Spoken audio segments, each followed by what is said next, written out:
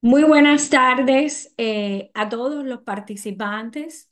Es un inmenso placer para mí en el día de hoy, en representación de los eh, profesores del claustro de la Universidad eh, Santander de México, pues darles la bienvenida y guiarlos en este taller número 10 que forma parte de las sesiones de trabajo de el, noveno Congreso eh, sobre Educación eh, UNISAN 2024. En el día de hoy tendremos la posibilidad eh, de formar parte de esta red de aprendizaje y de investigación que nos va a convertir, como decía nuestro vicerrector en el día de ayer en la inauguración, en verdaderos agentes de cambio. ¿Por qué? Porque con nuestras propuestas de investigación eh, seremos capaces de transformar, transformar la educación y transformar nuestra sociedad, tributar al desarrollo de nuestra sociedad. Pues entonces, no les resto más tiempo, la noche es de ustedes. eh, damos la bienvenida a todos y bueno, eh, a partir de ahora los participantes, todos los expositores van a comenzar a exponer sus trabajos. Les pedimos eh, que se ajusten a los tiempos, tal y como se planteó en nuestro programa, porque debemos demostrar esa competencia investigativa que el modelo de Santander eh, desarrolla en nosotros. Por tanto, la capacidad de síntesis, el ajuste al tema y al tiempo es muy importante para mostrar esa eh, competencia que hoy nosotros desarrollamos y que mañana desarrollaremos en nuestros estudiantes. Por tanto, los micrófonos apagados y vamos a seguir el orden eh, de eh, los expositores. Eh, Juan Daniel se encuentra, Sí, muy buenas tardes con todos. pues los micrófonos son de Juan Daniel, que nos va a exponer un modelo pedagógico constructivista como una estrategia para el proceso de enseñanza-aprendizaje de la educación para la ciudadanía, un proyecto para los estudiantes de bachillerato de la Unidad Educativa Picagua, Ambato, E- Ecuador. Adelante, Daniel, puedes darle, maximizar, o sea, la copita para que sea el perfecto. Te Ya, escuchamos. muy buenas Eh, tardes. Sí, 10 minutos, son las 7 y 2, quiere decir a las y 12 terminas. ya. Muy buenas tardes con todos. Eh, mi tema de investigación es el modelo pedagógico constructivista como una estrategia para el proceso de la enseñanza y aprendizaje de la educación para la ciudadanía, un proyecto para los estudiantes de bachillerato de la Unidad Educativa Picagua, Ambato, Ecuador. En la actualidad, el Ecuador está sufriendo una crisis económica, social, democrática y especialmente en materia de inseguridad. Dicha crisis no es del día de ahora, sino que ya viene muchos años de atrás. Si es que no existe un problema social, no puede dar inicio a una investigación. Si no hay investigación, no puede darse eh, las posibles soluciones. Por lo tanto, es importante que el problema se debe atacar desde la raíz. Es el caso que en la actualidad algunos ciudadanos y estudiantes de bachillerato carecen de valores generales, valores cívicos, si bien sabemos que los valores vienen dentro del núcleo familiar y los centros educativos están encargados de fortalecer y desarrollar estos valores, es necesario también el desarrollo de un mo- modelo pedagógico que eficaz para la enseñanza de la asignatura Educación para la Ciudadanía. Explicación de la realidad y necesidad de la situación problemática. Dentro de ella, eh, los estudiantes de bachillerato presentan una deficiencia al aprender la asignatura por falta de motivación por parte del péndulo académico o por los eh, docentes o por los mismos estudiantes. De igual forma, la materia es muy extensa y el tiempo designado semanalmente para estudiarla es muy corta. Los diferentes métodos de enseñanzas tales como los talleres, proyectos, TICs y demás carecen de eh, eficacia para el aprendizaje. Dentro de la necesidad, los estudiantes de bachillerato necesitan fortalecer los conocimientos y habilidades que estimulan la necesidad y curiosidad de aprender más, por lo cual se requiere el desarrollo de un nuevo modelo pedagógico que desafíe al estudiante para así que puedan tener sus propios conceptos y nociones. De igual forma, dentro de la situación problemática, según el Instituto Nacional de Evaluación Educativa, INEVAL, en el año del 2023, el promedio dentro de la asignatura de la educación para la ciudadanía es de 42.2 de los estudiantes de nivel bachillerato, alcanzaron un promedio mínimo de 700 puntos sobre 1000 y el, y el resto del 57.8% superó el mismo en un promedio de 700 a 799 eh, sobre 1000. Es, es de suma importancia mejorar el promedio y también y desarrollar un modelo que se acopla las necesidades actuales. Además, también, si bien es cierto, el Ministerio de Educación en sus lineamientos nos da a conocer que la asignatura debe enseñarse mediante el modelo pedagógico constructivista, pero en la práctica diaria no se da. Entonces, los sujetos a investigar en el presente proyecto eh, son eh, principalmente los estudiantes de bachillerato. El problema es cómo fortalecer el proceso de la enseñanza y aprendizaje de la asignatura Educación para la Ciudadanía. Como objetivo, desarrollar el modelo pedagógico constructivista al proceso de la enseñanza y aprendizaje de la educación para la ciudadanía. Como objeto, el proceso de la enseñanza y aprendizaje de la asignatura Educación para la ciudadanía mediante el objeto peda eh, mediante el modelo pedagógico constructivista en los estudiantes de bachillerato de la unidad educativa. Si bien es cierto, dentro de mi proyecto de investigación, eh, estos teóricos me ayudaron a poder entender mejor acerca del modelo constructivista. En primer lugar, tenemos a Piaget, que en relación a mi, trabajo de investigación en su parte pertinente, eh, nos da a conocer que las relaciones sociales favorecen el eh, aprendizaje siempre que produzcan contradicciones que obliguen al sujeto a reestructurar sus conocimientos. Asimismo, César Koch, con su enfoque constructivista, nos da a conocer que el alumno es responsable de su propio aprendizaje.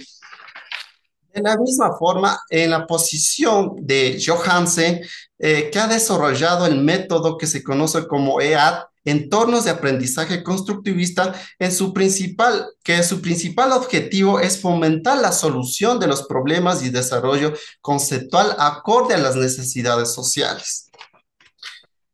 Dentro del estudio histórico del proceso de la enseñanza y aprendizaje de la asignatura de educación para la ciudadanía, tenemos en primer lugar que en el año de 1970 se dan las primeras iniciativas tales como los países europeos y norteamericanos, comienzan a introducir temas de educación cívica en sus currículos escolares.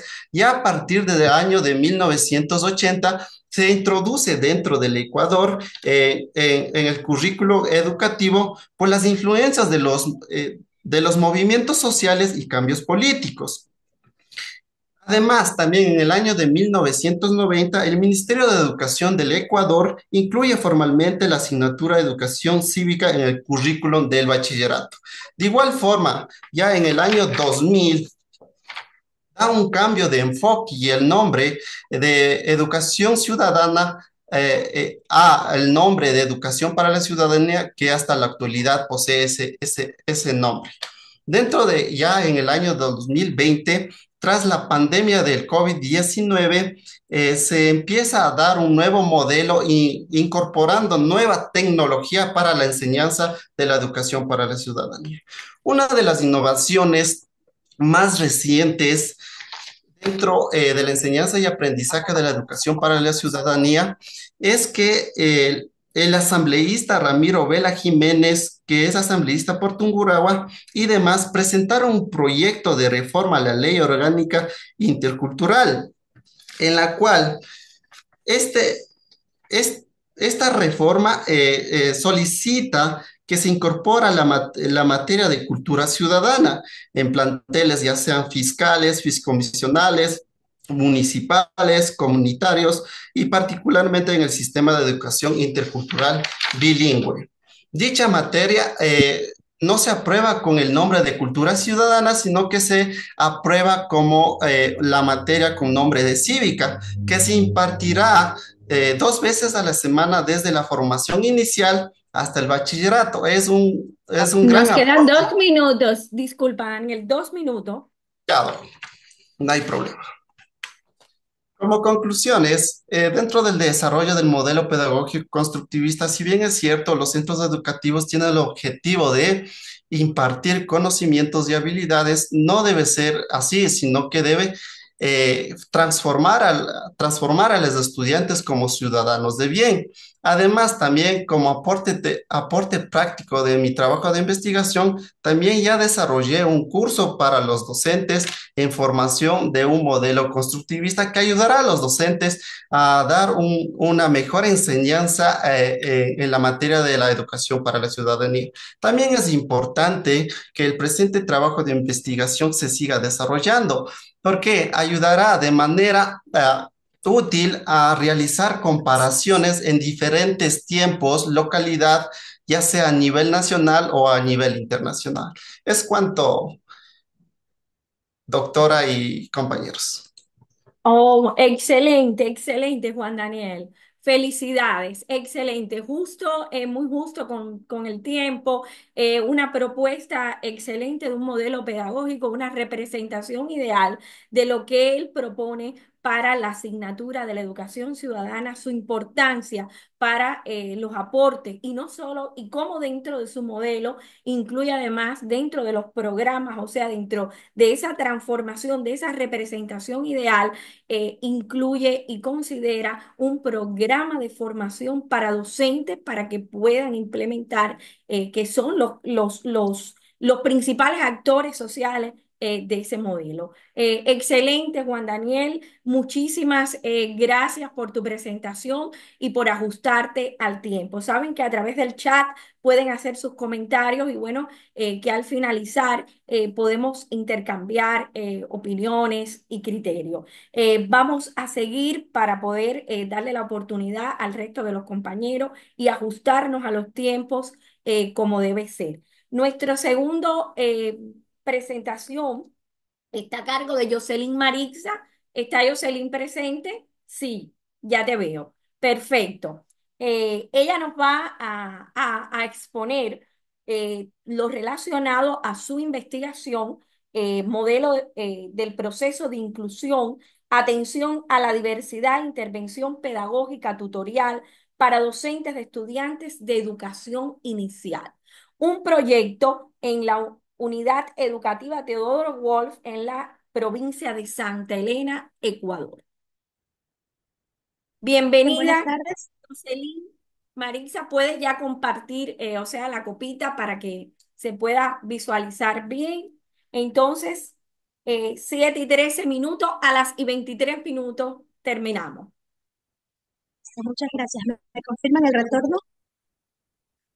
Sí, se ve bien. Ya, puedes comenzar. Ok, listo, bien. Muchas gracias. Buenas tardes a todos. Eh, vamos el día de hoy en este taller. Eh, la ponencia que les voy a presentar, pues, se basa en la investigación que estoy desarrollando en el programa de doctorado. Como tema, proceso de inclusión, atención a la diversidad e intervención pedagógica tutorial para docentes de estudiantes de educación inicial un proyecto a ejecutarse en la unidad educativa Teodoro Wolf de la provincia de Santa Elena. Bien, ¿de dónde nace esta temática? Sabemos que eh, en Ecuador existe una base legal que fundamenta y sustenta mucho al tema de la inclusión. Sin embargo, al hacer una observación exhaustiva todavía en, las, en, en muchas aulas de clases eh, de varias instituciones educativas, sabemos que hay falencias y aún nos falta. En la parte docente, por ejemplo, se, eh, nos enfrentamos a desafíos que nos impide atender a toda la diversidad porque tornamos en confundir que diversidad tiene que estar asociada o no a, una discapacidad, una dificultad, ¿verdad? Entonces, al identificar esta problemática, esta realidad, es donde se torna indispensable desarrollar un modelo, que es lo que se está planteando a través de esta investigación. ¿En qué contribuimos cuando intentamos hacer la relación del problema, el objeto de estudio y nuestro objetivo? El problema es cómo contribuir a ese proceso de inclusión, atención a la diversidad e intervención pedagógica tutorial en los docentes de educación inicial de la unidad educativa para que potencialice la calidad de la educación y el desarrollo académico socioemocional de los estudiantes de educación inicial. Bien, entonces nuestro objeto de investigación es ese proceso, esa, eh, ese proceso que si lo vemos está distribuido como tres categorías, por así decirlo, donde no solo nos vamos a centrar en las dificultades de aprendizajes eh, asociadas a una discapacidad, sino también a la diversidad que no tiene que ver con discapacidad. Para esto se plantea nuestro objetivo, que es desarrollar un modelo de proceso de inclusión que nos oriente y nos ayude a permitir la implementación en esta unidad educativa que ha sido seleccionada. Eh, analizando un poco y revisando la teoría, pues nos acercamos a conceptos generales, particulares y singulares. Estos conceptos nos van a aproximar a poder tener claridad de todas nuestras categorías de estudio y diferenciarlas. Empezamos, por ejemplo, eh, qué es inclusión, qué es atención a la diversidad, intervención pedagógica, y todo esto se reduce hasta nuestro concepto singular, el proceso de inclusión y atención a la diversidad e intervención pedagógica tutorial para docentes en educación inicial. Haciendo una revisión, tenemos, eh, sabemos muy bien que inclusión, la Real Academia de la Lengua, autores como Saldivia y Figueroa en sus investigaciones en el año 2017 y 18, eh, pueden llegar, eh, han determinado que se trata de homogeneidad, para eliminar las barreras de educación, ¿verdad? Para que esto permita el desarrollo de habilidades en toda la extensión de la palabra. En este caso, pues sabemos que eh, inclusión significa siempre va a estar en el enfoque de aceptar a todos sin ningún tipo de condiciones de exclusión. Asimismo, diversidad nos acerca y este concepto ya sintetiza una cuestión más compleja y es multifacética. Va más allá de la raza, el género y se enfoca en las particularidades que puede tener cada individuo. Entonces es por eso eh, la importancia en la que se radica este, este modelo que se quiere desarrollar. En cuanto ya relacionamos a un proceso de atención y de inclusión, pues las cosas vienen más más arraigadas que nos permite ser específicos en el diseño de estrategias para poder lograr esa intervención pedagógica tutorial que necesitamos y que planteamos desde un ámbito inicial, porque a través, ¿qué sucede en el ámbito de educación inicial? A través de la observación nos damos cuenta. Obviamente los docentes no diagnosticamos, pero con la observación eh, derivamos, eh, llevamos un registro anecdótico que puede ayudarnos a determinar desde pequeñas eh, edades problemas a futuro, ¿verdad? Entonces, eh, algunas teorías eh, se revisaron que sustentan esta, este tema y pues tenemos las de grandes exponentes como Vygotsky, Molina, con sus teorías de la inclusión, la diversidad, la intervención pedagógica y el aprendizaje como se da en ambientes inclusivos. Bien, que aportan directamente al objeto de investigación con alguno de sus indicadores. Un estudio contextual en donde se va a desarrollar, se está llevando a cabo esta investigación desde la parte introductoria, observación y todo lo demás, es en la provincia de Santa Elena, que queda en la región costa de nuestro, de, nuestro país Ecuador. Eh, es de sostenimiento fiscal, es una institución del Estado y pues cuenta, es una institución que cuenta con eh, aproximadamente 3.580 estudiantes, cuatro directivos, dos pedagogos de apoyo y 110 docentes. Bien, oferta los niveles de educación inicial, educación básica y bachillerato. Ya nos encontramos en el diseño metodológico. Acá eh, se plantearon algunas preguntas científicas, estas se despliegan tareas de investigación y los métodos a utilizar. Es necesario para el modelo que se quiere implementar que nos hagamos preguntas, qué regularidades nos podemos encontrar, cuáles son esas bases teóricas que pueden sustentar este modelo que queremos crear qué elementos debe contener este modelo, cómo implementar y que este modelo sea, nos garantice la, sostenibilidad en el tiempo y que más que todo queremos que sea replicable. ¿Qué aspectos podemos tener en cuenta para que nos procesen eh, la validación científica.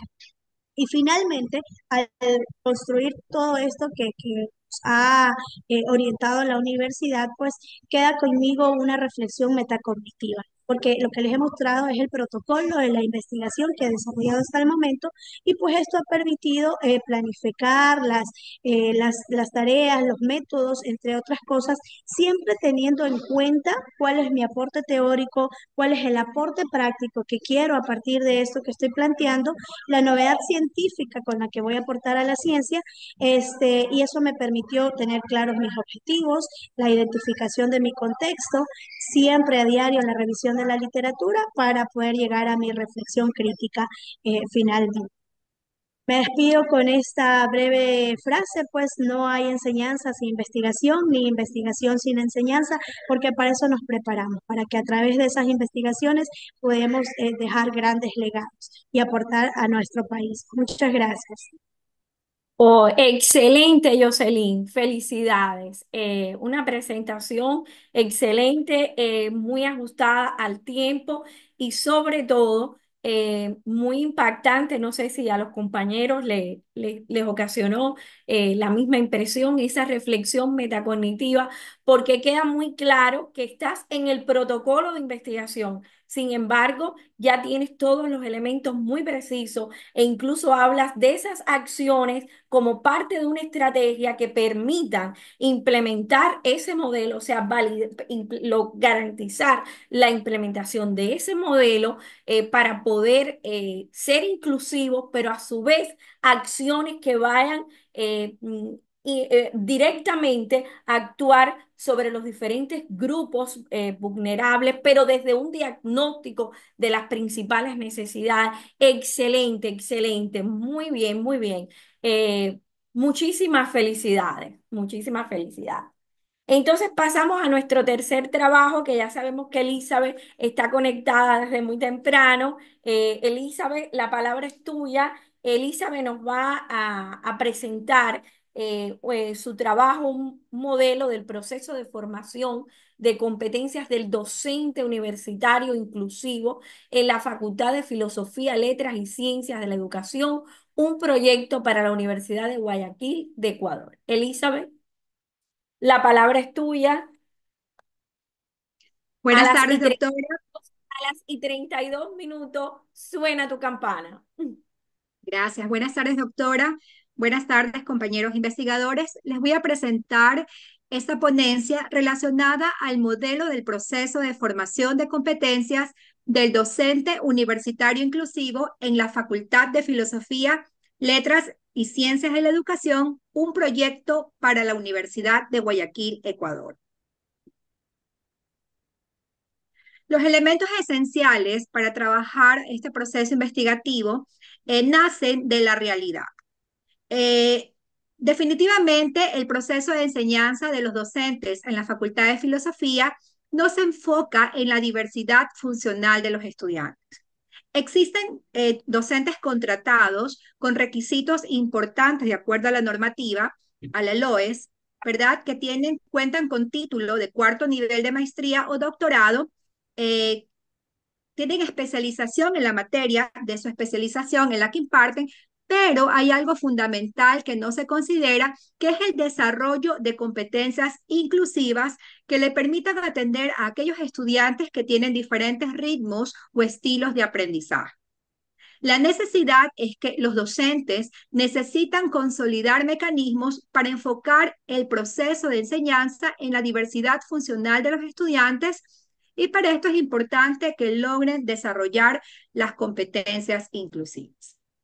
La situación problemática es que los docentes de la Facultad de Filosofía presentan debilidades en el conocimiento y manejo adecuado de gran cantidad y variedad de estrategias didácticas que les permitan utilizar la metodología más adecuada para poder atender a la depende de la condición o necesidad de los estudiantes. Y esto se puede lograr a través de una capacitación continua para poder preparar a los docentes y puedan lograr una experticia en el campo eh, de la inclusión.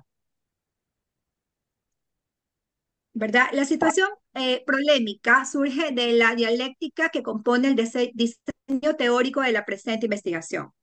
Tenemos el problema, cómo contribuir al proceso de formación de competencias inclusivas en los docentes de la Facultad de Filosofía, Letras y Ciencias de la Educación de la Universidad de Guayaquil para garantizar la igualdad de oportunidades y calidad en la educación superior. El objeto de la investigación es el proceso de formación de competencias del docente universitario inclusivo en la Facultad de Filosofía.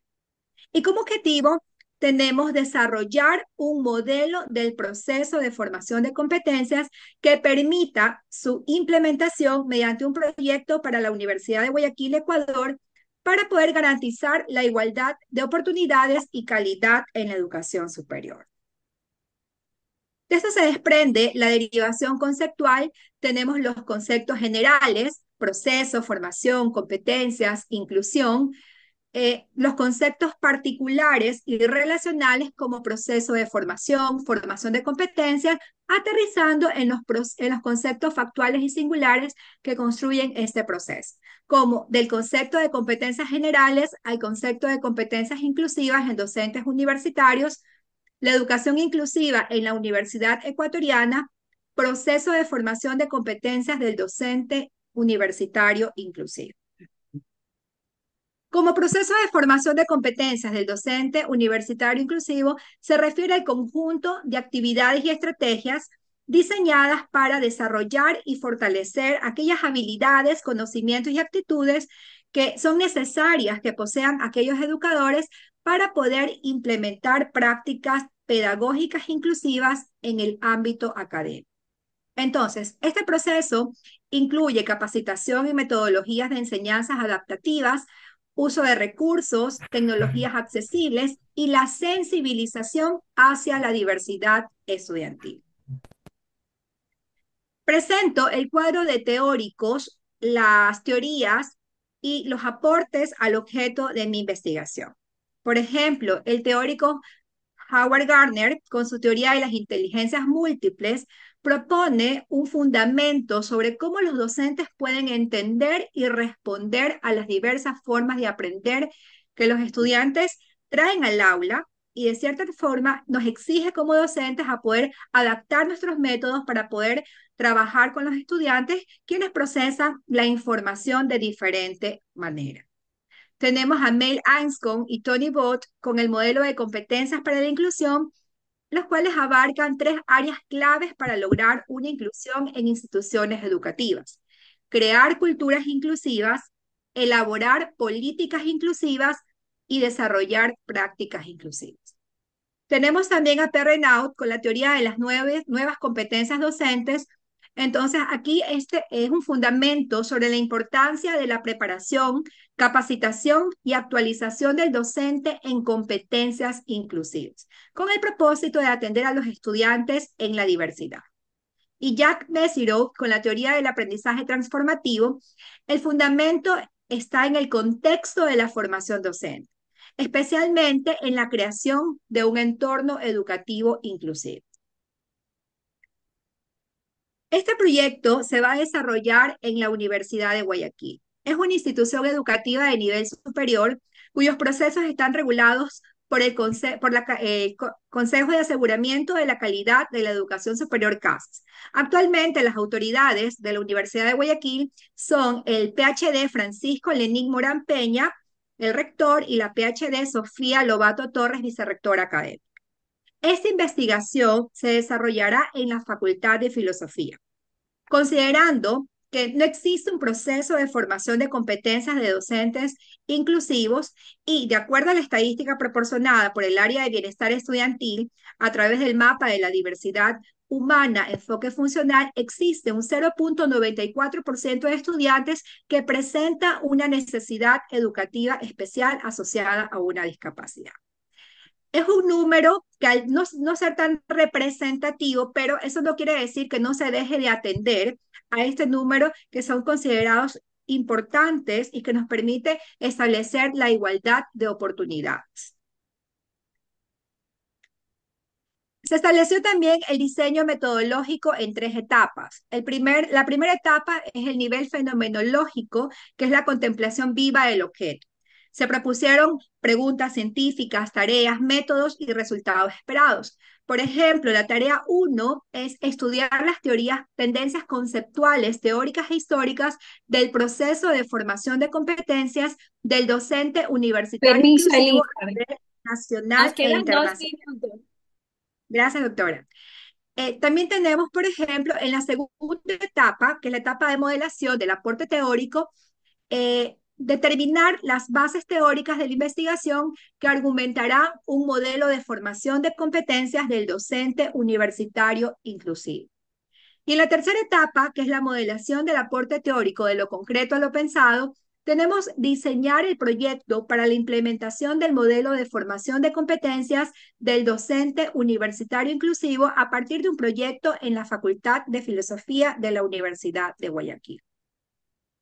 Se presenta también el estado del arte, donde están eh, ciertos artículos científicos de los últimos años que resaltan y brindan un aporte importante al objeto de la investigación. Sin embargo, falta cierta información que va a ser, eh, esta investigación que estoy presentando va a ser un complemento y va a ser un aporte importante en la temática o el problema investigado.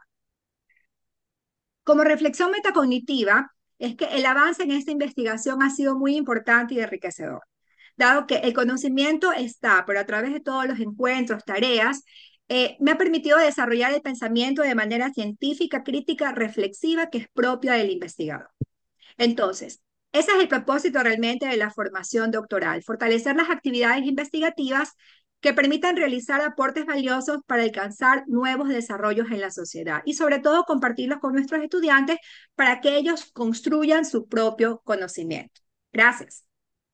Excelente, Elizabeth. Muchas felicidades. Un tema interesantísimo porque eh, en la propuesta de investigación de Elizabeth eh, se eh, toca un tema muy interesante y es cómo se propone a través de un modelo la representación ideal de un proceso de formación para garantizar la, las competencias necesarias en los docentes para que puedan ser inclusivos. ¿Y a qué se refiere ella? Algo que el vicerrector de nuestra universidad se refería en el día de ayer.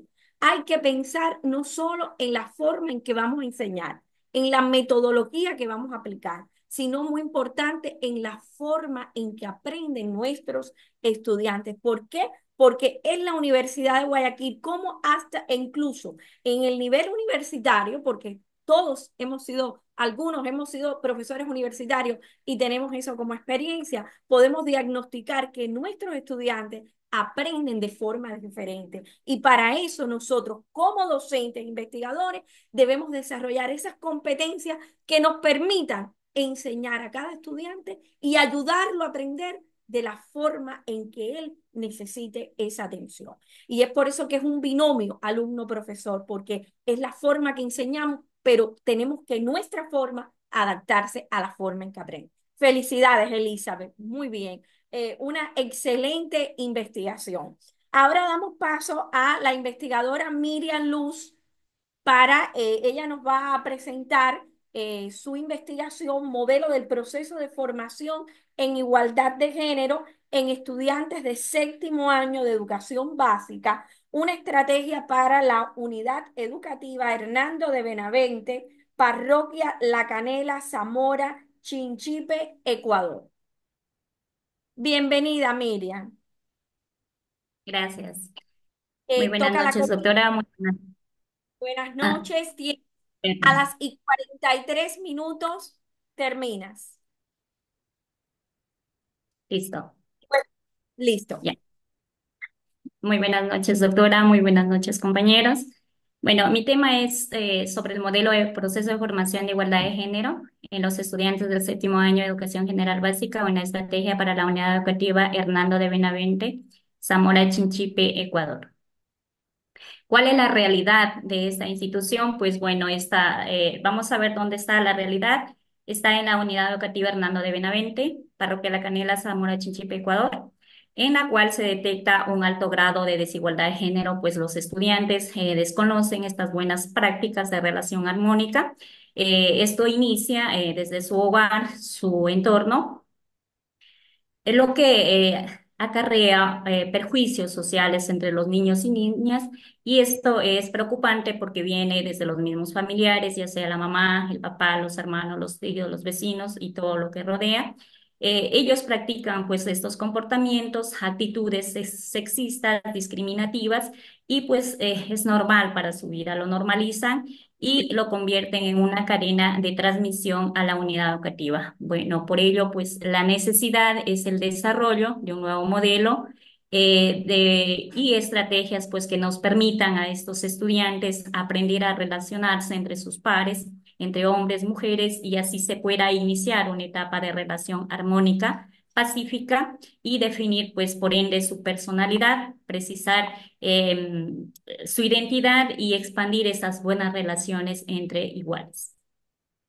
Por lo tanto, pues la situación em, problemática se necesita un, em, perdón, perdón, se me fue, se me regresó. No importa. Se me regresó. No sé qué pasó. Perdón. Marca, Ya, ya, ya. Por lo tanto, pues se necesita el desarrollo de, eh, por lo tanto, pues se necesita un, un desarrollo de un proceso formativo que nos permita analizar estas eh, concepciones que viven dentro del hogar, su entorno, pues ellos aparte de luchar con sus aspectos físicos, eh, tienen que luchar también lo que los expone la sociedad, eh, los, los padres de familia, su hogar. Bueno, pues identificando todas estas situaciones, eh, yo como docente que formo parte de esta institución educativa, he creído eh, conveniente pues el desarrollo de un proceso eh, educativo que, formativo en igualdad de género que permita pues a estos estudiantes relacionarse bien en su entorno, la comunidad y la institución educativa. ¿Cuál es la relación del problema objeto-objetivo? Bueno, la relación del problema objeto objetivo, el problema en sí es eh, la contribución del proceso de formación de igualdad de género en estos estudiantes del séptimo año de educación general básica de esta unidad educativa Hernando de Benavente, Parroquia La Canela, Zamora Chinchipe, Ecuador, para que pues para mejorar eh, las buenas relaciones de igualdad de género en esta institución ¿Qué objeto es, eh, estoy trabajando? Pues es el proceso en sí de la formación de igualdad de género eh, de estos estudiantes del séptimo año de eh, Educación General Básica de la Unidad Educativa Hernando de Benavente, Parroquia La Canela, Ecuador. Para ello, pues tengo un objetivo, pues el objetivo es el desarrollo del proceso de formación de igualdad de género en estos estudiantes del séptimo año de Educación General Básica que permita su implementación de una estrategia para esta unidad educativa Em, de la parroquia La Canela, Zamora Chinchipe, Ecuador, pues donde los estudiantes tengan acceso a las mismas oportunidades como personas, más bien no eh, como género. Para ello tengo una derivación conceptual que me ayudará muchísimo a trabajar en mi objeto de estudio entre ellos hablo de los conceptos generales, particulares, relacionales y los singulares. Dentro de los generales eh, eh, me enfoco en la igualdad de género desde los estándares de la calidad educativa, lo que es la vinculación en la educación y el género, lo que es el análisis sobre el desempeño docente, sobre la brecha de desigualdad de género, en los conceptos particulares y relacionales tengo lo que es la equidad de género como categoría de análisis la perspectiva de género en la educación, los estereotipos de género en la educación, la identidad de género en los estudiantes y pues educar en igualdad de género. Dentro de los conceptos factuales y singulares están las nuevas estrategias sobre la formación de igualdad de género. Tengo los tipos, tipos de estrategias de concepciones pedagógicas sobre la igualdad de género y por ende llego ya al proceso de formación de igualdad de género en estos estudiantes de educación general básica.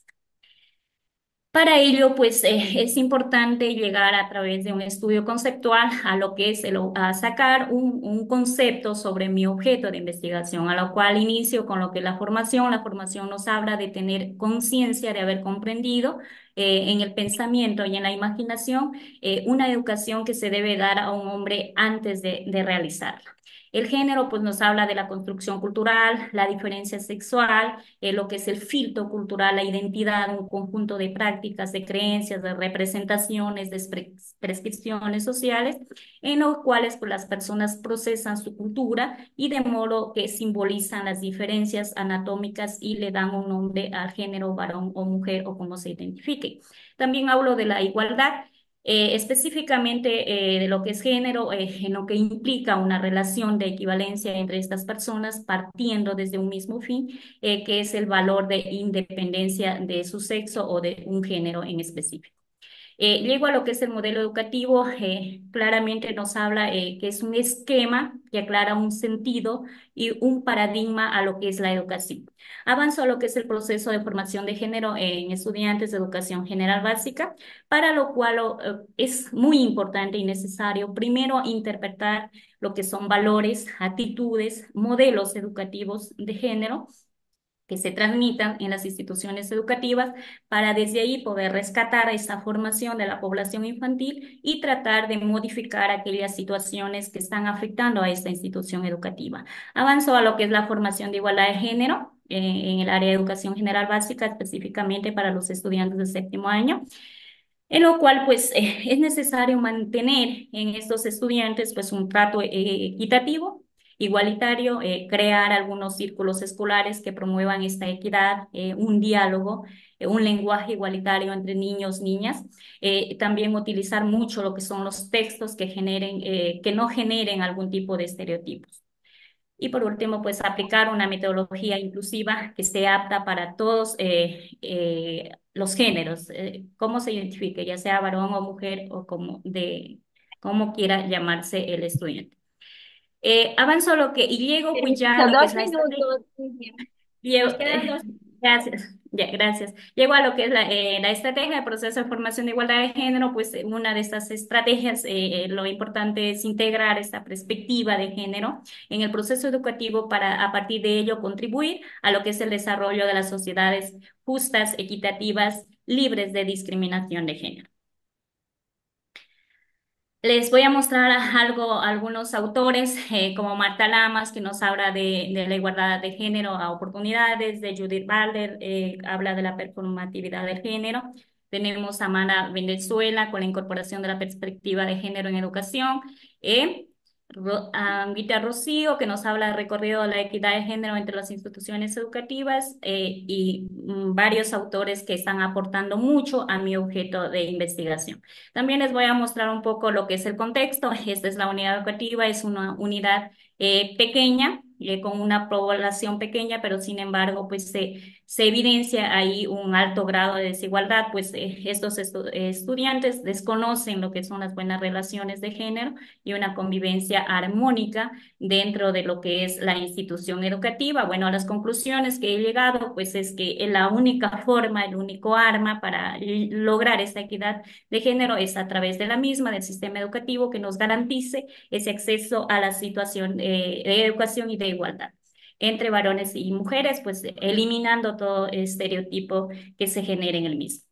Eh, es importante también analizar las conductas, las acciones, las actitudes y los comportamientos que están relacionados al género. Esto es producto, pues, precisamente de la formación que tienen los estudiantes eh, desde eh, su infancia en los contextos de la vida, lo cual, pues, desarrolla una necesidad de comportarse tal como está en el hogar, en la comunidad, pues, y lo replica en la institución. También es necesario trabajar desde la escuela, desde inicial, preparatoria hasta la universidad con la finalidad de crear conciencia eh, que todos somos importantes y merecemos las mismas oportunidades en la vida como seres humanos, más no eh, como género varón o mujer. Muchas gracias. Excelente, gracias a ti, Miriam. Eh, el tema de Miriam es un tema interesante, un tema que trata la, la, propuesta de un proceso de formación ideal para evitar las diferencias entre género y sobre todo parte de ese contexto educativo donde ella pudo percibir una situación problemática a partir de esas desigualdades y de ahí surge la necesidad de diseñar, de proponer un proceso ideal que garantice que esos niños desde esa edad escolar desde esa etapa de formación empiecen a desarrollar buenas prácticas que a futuro van a ser los futuros profesionales, los futuros docentes y que no existan esas desigualdades que tanto afectan hoy día a nuestra sociedad. Excelente, un tema muy importantísimo y de un alto valor para estos tiempos eh, de globalización y donde nuestra sociedad tiene que estar preparada, entrenada desde buenas prácticas para hombre, mujer, todos, todos tributar al desarrollo eh, de, de, nuestras comunidades y de nuestros países. Bueno, eh, continuamos entonces con María Antonieta León. María Antonieta, ¿estás presente? Sí, buenas noches, ¿cómo está? Muchas gracias. Bienvenida, María Antonieta. Bueno, María Antonieta nos va a presentar eh, su propuesta de educación inclusiva y para la diversidad. Eh, bueno. María Antonieta, tenemos 10 minutos, quiere decir que a las y 55 eh, ya suena tu campana. Listo. Muchas gracias. Bueno, buenas tardes compañeros, buenas tardes Profe, eh, bueno, el tema que yo he, trabajado es la inclusión educativa para la diversidad. Bueno, el tema que yo he preparado no es, se vincula con mi proyecto, es una parte pequeñita de mi proyecto porque he querido hablar sobre esta parte de la inclusión, que justamente eh, esto de la inclusión que lo que, nos, lo que nos lleva es a un enfoque que busca garantizar que todos los estudiantes y sus habilidades, características, de acuerdo a cada uno de ellos, les brinde una educación de calidad. Entonces, dentro de este contexto, pues a, eso es lo que yo me quiero referir el día de hoy. Entonces, dentro de una inclusión educativa eh, es lo que nos falta todavía transformar, porque de acuerdo a lo que nosotros estamos viviendo en la actualidad, hablamos de inclusión, hablamos de lo que es equidad, pero en realidad no se da en un 100%.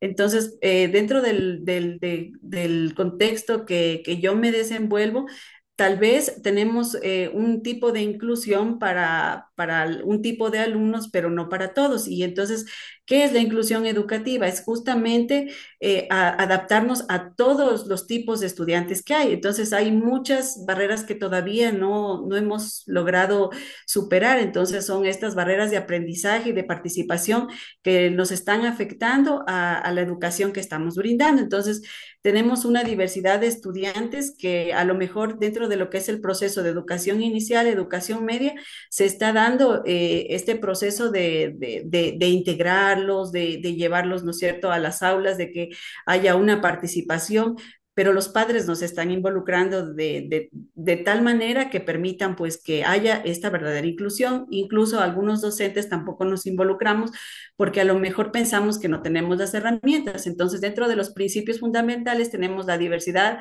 como enriquecimiento, es justamente de lo que hablo, que tenemos un, una gran cantidad de, de, de, lo que es, por ejemplo, tenemos estudiantes que a veces son sordos, estudiantes que son ciegos, tenemos estudiantes, eh, en este caso, por ejemplo, que, que tienen alguna discapacidad física, pero también ahora tenemos lo que es este, personas que están sufriendo de algún tipo de vulnerabilidad, tal vez por lo que tienen este, eh, una diversidad en lo que es este, su género, que cómo, cómo se los acepta, cómo tienen estas dificultades para poder adaptarse a lo que es este, su proceso de aprendizaje. Entonces, yo creo que todos ellos también dentro de lo que están los principios tienen una, un derecho, una educación en la que ellos se sientan seguros, ¿no es cierto?, que tengan la misma oportunidad de oportunidades como tienen los estudiantes que nosotros decimos los estudiantes regulares, ¿no es cierto?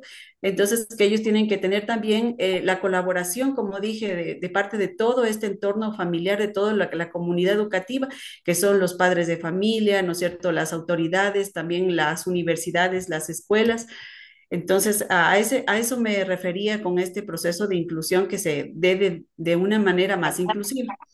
Ya, lo que es la forma, dentro de los desafíos que tenemos la formación docente, porque como digo, muchos educadores todavía eh, sentimos que no estamos preparados porque a lo mejor nos falta tal vez es, esa motivación para poder incluir a estos estudiantes.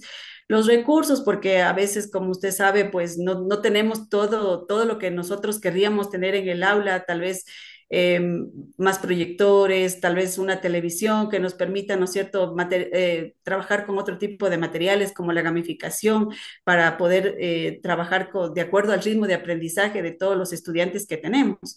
También pues el cambio de mentalidad, que, que también es otro desafío porque todavía pensamos que los estudiantes que no tienen eh, que no, son los estudiantes regulares, si tienen algún tipo de, de, lo que es una discapacidad intelectual, que nosotros decimos, pues este, eh, tienen una adaptación y a lo mejor si nosotros motivamos podemos llegar a que ellos eh, superen esa barrera que ellos mismos se ponen y puedan llevar un ritmo de aprendizaje quizás similar al de los otros estudiantes, tal vez con un poco más de tiempo, pero que eh, ellos puedan adaptarse a esta oportunidad, ¿no? Dentro de lo que son también, pues, este, estos desafíos, también están las adaptaciones curriculares, porque nosotros nos regimos a unas adaptaciones que, que, se nos da de una manera tal vez no tan clara de, cómo debemos hacerlas, porque no todos los estudiantes son iguales, es una diversidad con la que nosotros trabajamos y a lo mejor cada uno deberíamos de acoplarnos más bien a, a la necesidad que tiene el estudiante luego de valorar de manera In, este, como decir, individualizada de cada uno, tal vez un refuerzo con cada uno de acuerdo a lo que nosotros vemos el nivel de avance que va teniendo. El uso de la tecnología, pues que, como dije, la gamificación, que también tenemos lo que son este, herramientas eh, que nos permiten hacer lo que es una aula invertida, trabajar con los estudiantes, pero para esto necesitamos también lo que dije es, es la, la como diríamos, el compromiso de parte y parte, que el profesor se prepare en elaborar material para poder llevar al aula y los estudiantes también se comprometan a revisarlo, porque hay muchas veces que nosotros preparamos mucho y a lo mejor los estudiantes no tienen eh, ese, ese tiempo o no se dan esa responsabilidad de hacerlo. Y lo que es aprendizaje colaborativo, que como dije, que es un trabajo en equipo, que tiene que participar de parte y parte, lo que es la familia, lo que es la comunidad, lo que es el docente, lo que son los estudiantes. Otro desafío es mejorar el rendimiento académico, porque a veces nosotros nos conformamos que el, el estudiante que, que, tiene algún tipo de adaptación llegue a la nota mínima solo por cumplir. Y no es así, tenemos que lograr que él se adapte a, la educación y, y, mejore sus posibilidades, que él siga aprendiendo, ¿sí? Lo que es también el desarrollo de habilidades sociales, porque a veces los estudiantes que tienen algún tipo de discapacidad o algún, es, ellos siempre como que tienden a apartarse, tienen que formar parte de, de, todo esto. Y lo que es la construcción, como dije, de una sociedad equitativa, que, que todos formemos parte de, de, este proceso de inclusión. ¿Cómo aporta la inclusión educativa a mi proyecto? Bueno, mi proyecto es un modelo de, del proceso de enseñanza de álgebra lineal para los estudiantes de ingeniería civil con metodologías interactivas y su modo de actuación profesional. Bueno, este es el grupo de estudiantes que estaban trabajando conmigo y como digo, pues es un grupo de estudiantes eh, que tienen, que son muy diversos, incluso teníamos pues lo que es ahí un estudiante que está con una discapacidad física que está en silla de ruedas, que estaba en las primeras diapositivas que proyecté. Entonces, como digo, pues eh, eso, es, eso es lo que se está dando, que, que, el, que hay, hay un, una inclusión para algo, pero dejamos de lado otra cosa.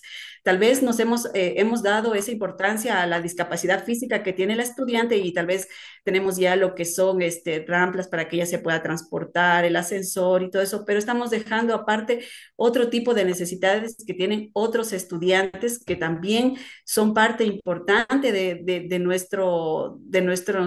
En este caso, de lo que es la población, de lo que yo quiero trabajar. Entonces, eh, aparte de que estoy trabajando pues con metodologías activas porque quiero hacer una renovación de lo que es la utilización de estas metodologías porque sí las utilizamos pero no las estamos tal vez utilizando correctamente, lo que quiero incluir también es lo que es esta inclusión para todos los estudiantes que tenemos este, de acuerdo a lo que estamos viendo. Y también pues puse esta frase para terminar este, lo que estaba diciendo, que es la inclusión en este caso no es llevar las personas a lo que ya existe, es crear nuevos y mejores espacios para todos. George Day dice, no son nuestras diferencias las que nos dividen. Eso quería terminar porque, como digo, pues eh, dentro de mi trayectoria docente he tenido estudiantes ciegos, he tenido estudiantes sordos, como dije, una estudiante que tiene discapacidades físicas y muchos que tienen eh, pero, este, lo que son adaptaciones intelectuales y creo que a pesar de que decimos que tenemos una inclusión, no la tenemos al 100% y creo que como docentes tenemos que seguir trabajando para transformar la educación y realizar un verdadero proceso de inclusión para todos, toda nuestra comunidad. Eso, muchas gracias. Excelente, excelente, María Antonieta. Gracias a ti. Una vez más, como pueden ver, en nuestro taller se toca el tema de la inclusión, pero el tema de la inclusión que siempre nos conduce, un hilo conductor que nos lleva a qué? A la propuesta de un modelo ideal, a la propuesta de un modelo de un proceso de formación ideal en el caso de María Antonieta, de la álgebra lineal cómo ella ha percibido en su contexto educativo, ha diagnosticado, ha identificado que hay una diversidad y que hay que incluir en el proceso formativo a todos esos, eh, a todas las necesidades de sus estudiantes. Y entonces ahí está la esencia, llevar, proponer proceso de formación ideal, pero que se adapte a las necesidades de esos estudiantes. Y cómo ella ha identificado lo, la importancia entonces de aplicar en ese modelo una metodología activa donde el aprendizaje colaborativo le va a permitir a sus estudiantes desarrollar habilidades sociales que le van a permitir solventar esas, esas diferencias, esas, esas necesidades individuales que tienen cada uno de ellos. Excelente. Por tanto, vamos hacia un mismo hilo conductor. El proceso de enseñanza-aprendizaje tiene que adaptarse, tenemos que enseñar según las necesidades de nuestros estudiantes. Hay que poner la ciencia en función de eh, diseñar esas propuestas, esas nuevas propuestas que nos conduzcan a un proceso de enseñanza-aprendizaje inclusivo, participativo, reflexivo y dinámico. Pues seguimos con nuestra próxima participante, nuestra investigadora, Lisbeth de Atocha Méndez. ¿Está Lisbeth? Sí, aquí estoy. A, a presentar eh, su investigación hacia el proceso de sensibilización y preparación de los docentes sobre la diversidad de género en el nivel educativo media superior, una estrategia para su implementación en la institución educativa del Colegio de Bachilleres Planter Playa del Carmen, México. Eh, Lisbeth, 7 y 56, eh, tienes 10 minutos para tu presentación. Gracias. Buenas tardes. Buenas. El título de, de la presentación es hacer proceso de sensibilización y preparación docente eh, sobre temas de diversidad de género en el nivel, eh, nivel educativo media superior, en- específicamente en, el- en mi área de trabajo que es en la institución de bachiller, bachilleres aquí en Playa del Carmen, México, Quintana Roo. Entonces, eh, eh, pues en los últimos años se han dado pues distintos cambios, por ejemplo, a, a nivel, a nivel educativo, sobre todo en México, eh, hemos tenido en el proceso de, de estos años en la introducción al modelo educativo de la nueva escuela mexicana y con este nuevo modelo pues también han llegado nuevas, eh, nuevas normativas y han llegado muchas reformas laborales, curriculares y de, de todo, ¿no? En, en lo que es la educación media superior. Y pues uno de los temas que se toca mucho y uno de los temas más recurrentes en, en los perfiles de la nueva escuela mexicana es el tema, por ejemplo, de la inclusión y sobre todo de, de poder valorar y, y tomar en cuenta la diversidad sexogenérica que pudieran presentar los estudiantes, ¿no? Entonces, en- repito, es como un tema muy, muy sonado, no sonado, sino que e, es un tema que piden mucho y que requieren mucho dentro del perfil también del docente de la nueva escuela mexicana.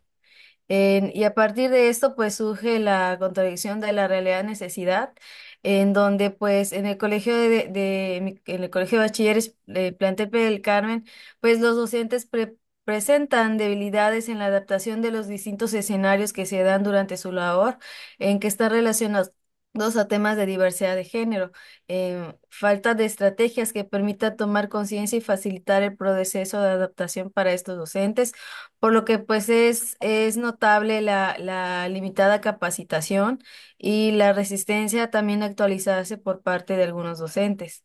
En- En, la necesidad, entonces tenemos que, pues los, necesi- los docentes necesitan poder adaptarse a los diversos escenarios que presentan actualmente, pues, eh, que se presentan con los estudiantes, en los cuales están relacionados también en, en temas de diversidad de género y por lo que es necesario diseñar una estrategia que permita sensibilizar y preparar a los docentes en en su labor en- hacia una educación pues más eh, eh, inclusiva e integral.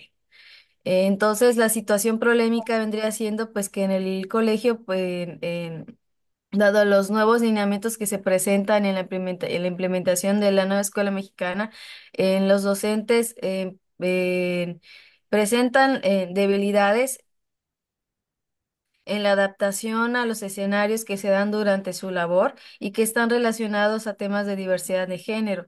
Y pues también eh, es notable pues también la falta de estrategias que permitan tomar conciencia y facilitar el proceso de adaptación, por lo que es notable la limitada, eh, la limitada capacitación y la resistencia también a actualizarse, ¿no? Y por lo que es necesario de diseñar una estrategia que permita sensibilizar y preparar la labor docente hacia una educación inclusiva e integral. Entonces, pues a partir de esto, pues se da la relación del el problema objeto-objetivo, en donde el problema es cómo contribuir al proceso de, sensi- de sensibilización y preparación sobre diversidad de género en los docentes de la escuela. El objeto de la investigación va a ser el, entonces el proceso de la sensibilización y preparación docente sobre la diversidad de género en, los docentes. Y el objetivo, pues, es justamente desarrollar este modelo que permita ese proceso de sensibilización y preparación docente en, temas de diversidad de género. Y pues que se permita su implementación en, dentro del colegio. Entonces, avanzando ya en la investigación, se ha avanzado en, los aportes teóricos y prácticos y pues en este momento voy a presentar más o menos cómo han sido mis aportes teóricos y en, en, en lo que se ha llevado esta investigación. En- tenemos en, en en el estudio teórico conceptual del, del objeto de la investigación que eh, dentro de los conceptos generales eh, pues tenemos eh, definiciones como de diversidad, género, sensibilización, preparación, los docentes, la inclusión y la nueva escuela mexicana. Entre los conceptos particulares y relacionales tenemos los de diversidad de género, inclusión educativa, educación inclusiva en la nueva escuela mexicana y estrategias para la inclusión educativa. Entonces, dentro de los conceptos actuales y singulares tenemos la relación entre la diversidad de género, inclusión eh, educativa, la sensibilización para la, eh, sobre la diversidad de género, la formación docente también en, diversidad de género y el proceso de sensibilización docente eh, sobre la diversidad de género. Eh, tenemos también aquí algunos teóricos que nos que me han ayudado en, en, en lo que ellos eh, presentan. En- me han ayudado y me han, me han podido dar también una guía sobre, sobre todo en esta parte de que, que es el proceso de sensibilizar y preparar a los docentes en temáticas y sobre la diversidad de género. Entonces, eh, mi estudio se, se, o mi modelo se, se especializa más bien y está dirigido a los docentes, no tanto a los estudiantes, sino más bien a los docentes, que son los que en algún momento, pues sí, presentan un poco, un poco de esta resistencia y también este eh, aunado pues también a la falta de capacitación específica que hay sobre estos temas.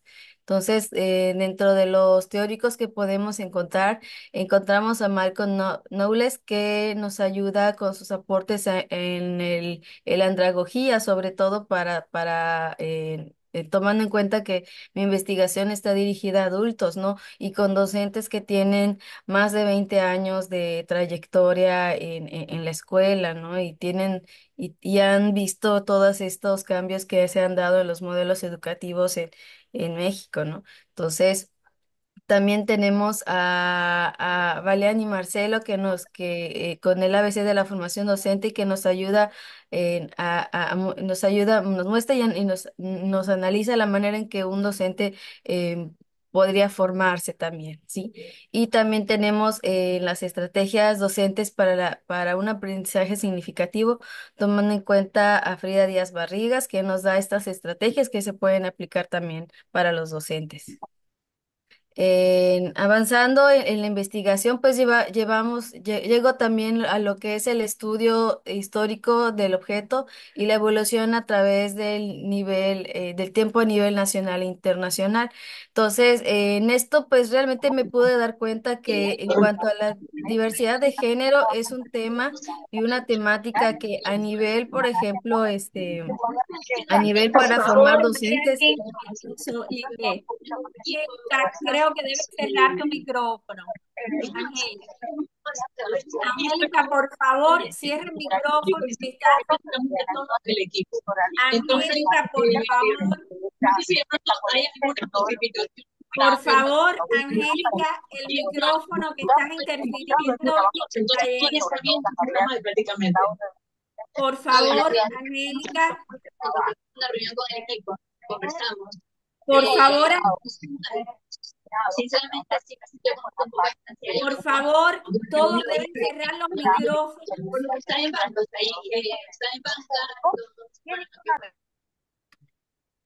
Ya. Deben, no dejen, no permitamos que esto suceda nuevamente, por favor, porque eh, han sido trabajos muy bien preparados. Los investigadores han- están trayendo excelentes trabajos y entonces eso nos resta la calidad de nuestro taller que está funcionando excelentemente. Disculpa, Lisbeth, no pasa continúa. nada, está bien, gracias. Sí, Continúo. Entonces, pues dentro de la evolución eh, en histórica, pues a través del tiempo, pues, eh, me, pues me pude dar cuenta que si bien este eh, es un tema bastante joven, porque pues a- a- apenas a partir de lo que se presenta en la UNESCO, pues se toma en cuenta y se toma como parte del- de, eh, se toma como parte también del currículo para, para, para, lo- para los alumnos. En cuanto a la formación para los docentes, realmente no hay muchos, muchos avances, ¿no? Entonces, eh, si bien temas de sexualidad, de diversidad de género, pues se han visto y se tratan pues de- desde la formación inicial, en- en- no hay así como que eh, para los docentes una, una, este, un, o sea, como una capacitación especializada pa- para esto, ¿no? Entonces, ya con esto, pues también pues logré avanzar a lo que es el, el, el, eh, lo que viene siendo eh, la parte del, de la, la parte estadística y se, eh, pude empezar a implementar lo que es el, el, el diseño de los instrumentos para ver cómo es, cómo los, cómo los docentes, los alumnos y, lo, y sobre todo también, por ejemplo, los, los directivos del colegio, en cómo perciben, en cómo está, eh, eh, cómo perciben la, la sensibilización en diversidad de género y cómo también se percibe cómo está esta preparación docente sobre diversidad de género, ¿no? Entonces, en- se realizó el, el proceso de, eh, de una, de una guía de un análisis documental, en donde pues aquí pues eh, fue más bien un análisis de, cómo este, de cómo a través de las, de los marcos directivos eh, que hay, se ha podido tratar o se habla sobre todo de la diversidad de género en, en este, en, en, bueno, en estos documentos, ¿no? Entonces, se hizo el análisis de estos documentos y pues este, si bien se vio que sí, sí están, pero no están como que, no es un tema así como que muy, muy, a- muy profundo todavía, no está, está en proceso de profundizarse. Se realizó también a, las entrevistas, por ejemplo, a los directivos del colegio, sobre todo a la, a todo lo que es el personal académico eh, de apoyo académico, que en nuestro caso, en mi colegio, es la que ve y atiende y está de alguna manera conectada con el proceso de formación de los docentes y también con la orientadora escolar, que también de pronto también interviene con los docentes y interviene con los alumnos. Entonces, en eh, también eh, se le hizo la, la encuesta, se le aplicó la, la encuesta también a los docentes para evaluar cómo es, para evaluar y cómo ver cómo, este, su, cómo perciben eh, su propia actitud y preparación en temas de diversidad de género, ¿no?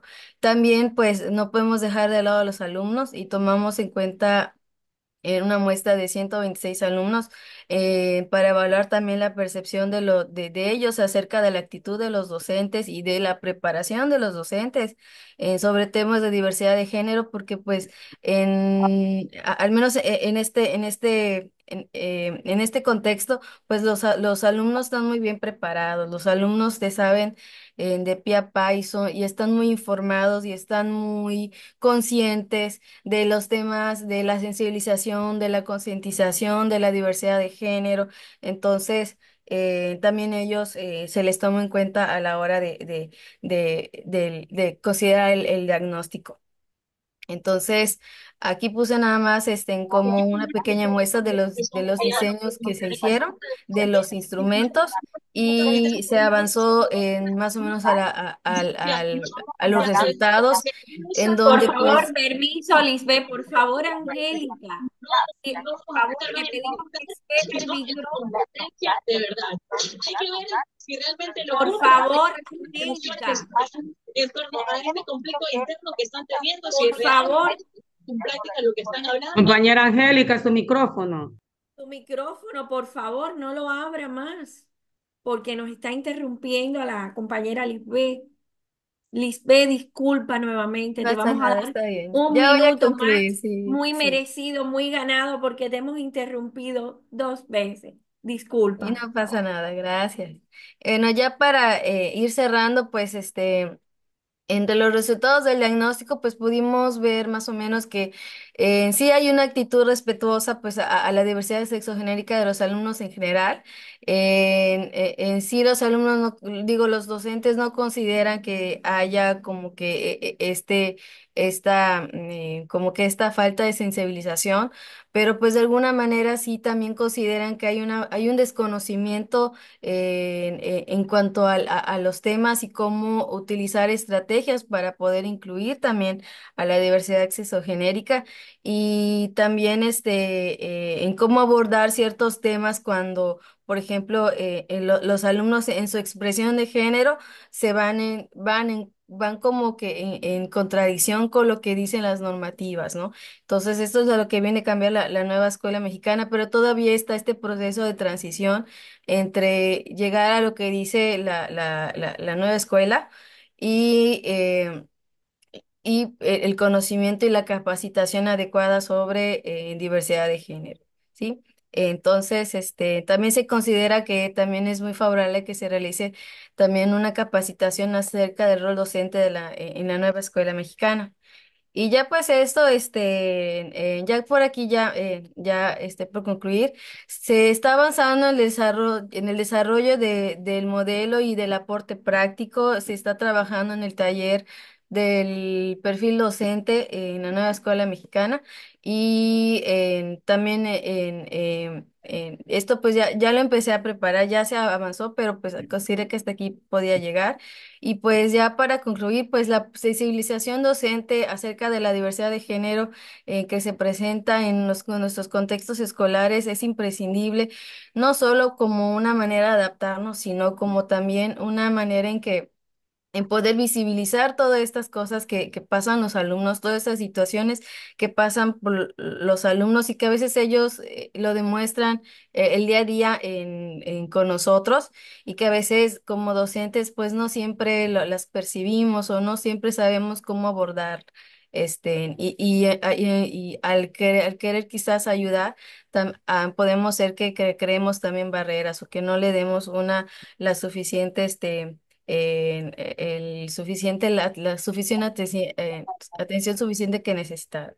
Eh, pues hasta aquí yo, e- es mi presentación. Les agradezco mucho. Gracias. Oh, muchas gracias a ti, Lisbeth. Excelente, excelente presentación. Fíjense cómo seguimos analizando en nuestro, eh, en nuestra sesión el tema de la inclusión. ¿Qué sucede? Y de la diversidad. Estamos viviendo en una sociedad muy diversa. Hay muchas diversidades culturales, económicas, de género, pero entonces ese, es- ese reflejo de la sociedad es el que hoy nosotros tenemos en nuestros contextos educativos, que es lo que al, al, al ha hecho referencia en el caso de las orientaciones sexuales de nuestros estudiantes. Entonces, nosotros como docentes tenemos que prepararnos. Ella toca el tema de la sensibilización, pero yo diría más, yo diría que hay que desarrollar conocimientos, habilidades, actitudes y valores para poder guiar a nuestros estudiantes y dentro de nuestros contextos educativos no ser una barrera para el aprendizaje y el desarrollo social de los mismos. Por tanto, es un tema interesantísimo, es un tema eh, que toca eh, el, el problema de la diversidad y de la necesidad de adaptar el proceso de enseñanza-aprendizaje a esa diversidad cultural, económica, de, de género, de, de, de orientación sexual que hoy existe en nuestra sociedad. Felicidades, Libe, un tema excelente. Bueno, ahora vamos a llamar a la investigadora Gabriela Juliana Correa. ¿Está Gabriela? Está ¿Cómo está, presente. doctora? Compañeros, muy buenas noches. Bienvenida, Gabriela. Bueno, Gabriela hoy nos va a hablar sobre la metodología de la escritura activa en estudiantes con índice- índices de disgrafía.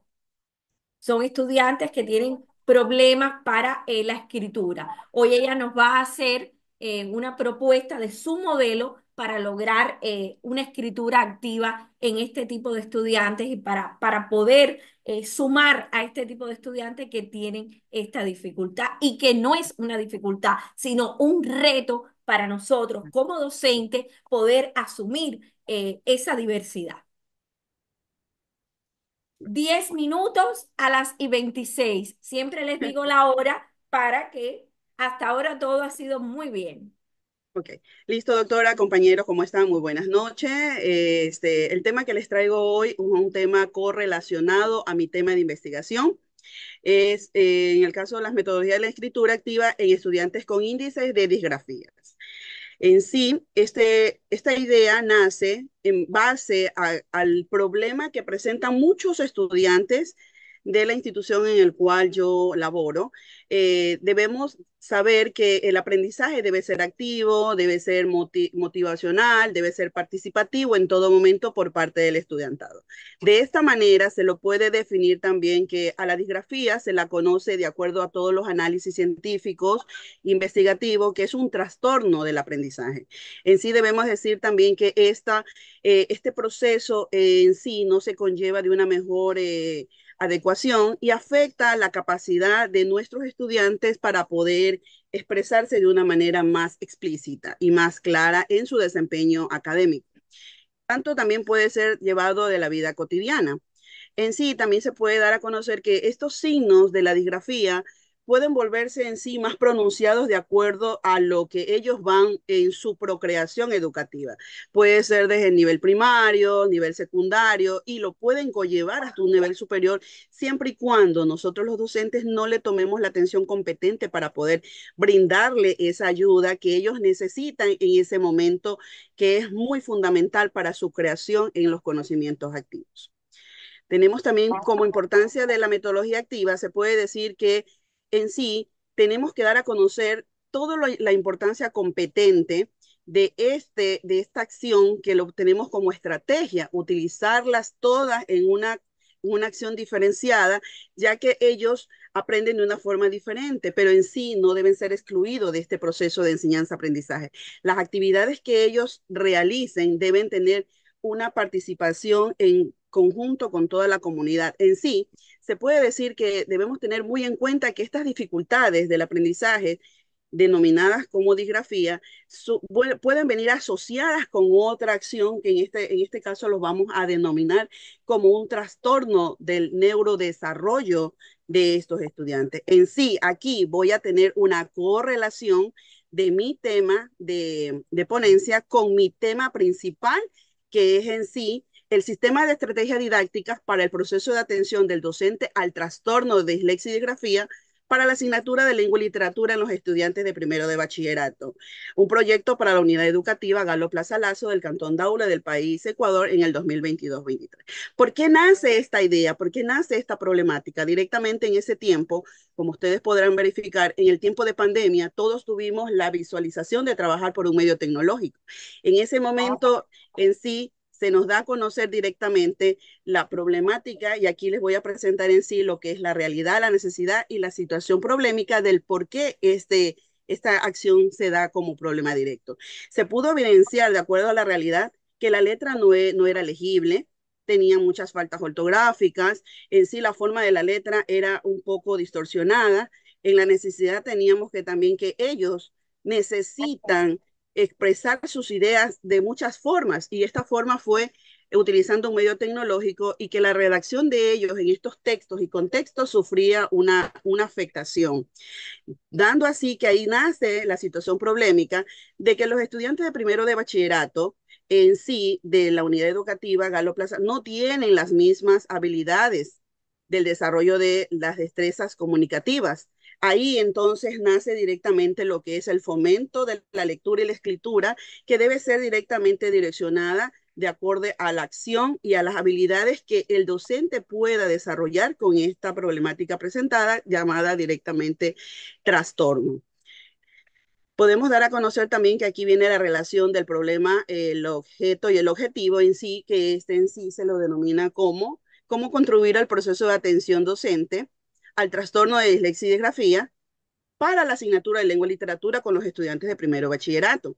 A su vez, en el objeto podemos identificar que el proceso de atención docente al trastorno de dislexia y disgrafía debe ser direccionada directamente para una materia, materia específica para que pueda ser trabajada de una forma inmediata. En el objetivo tenemos que en sí es procrear, fundamentar un sistema de estrategias didácticas con el cual el proceso de atención docente al trastorno de esta denominada dislexia grafía sea tomada de la mejor atención competente para estos estudiantes que sufran de este trastorno ya identificado. Como el contexto e importancia de la investigación se pudo dar a conocer de las dos magnitudes, en este caso, que eh, el contexto de la investigación y la importancia.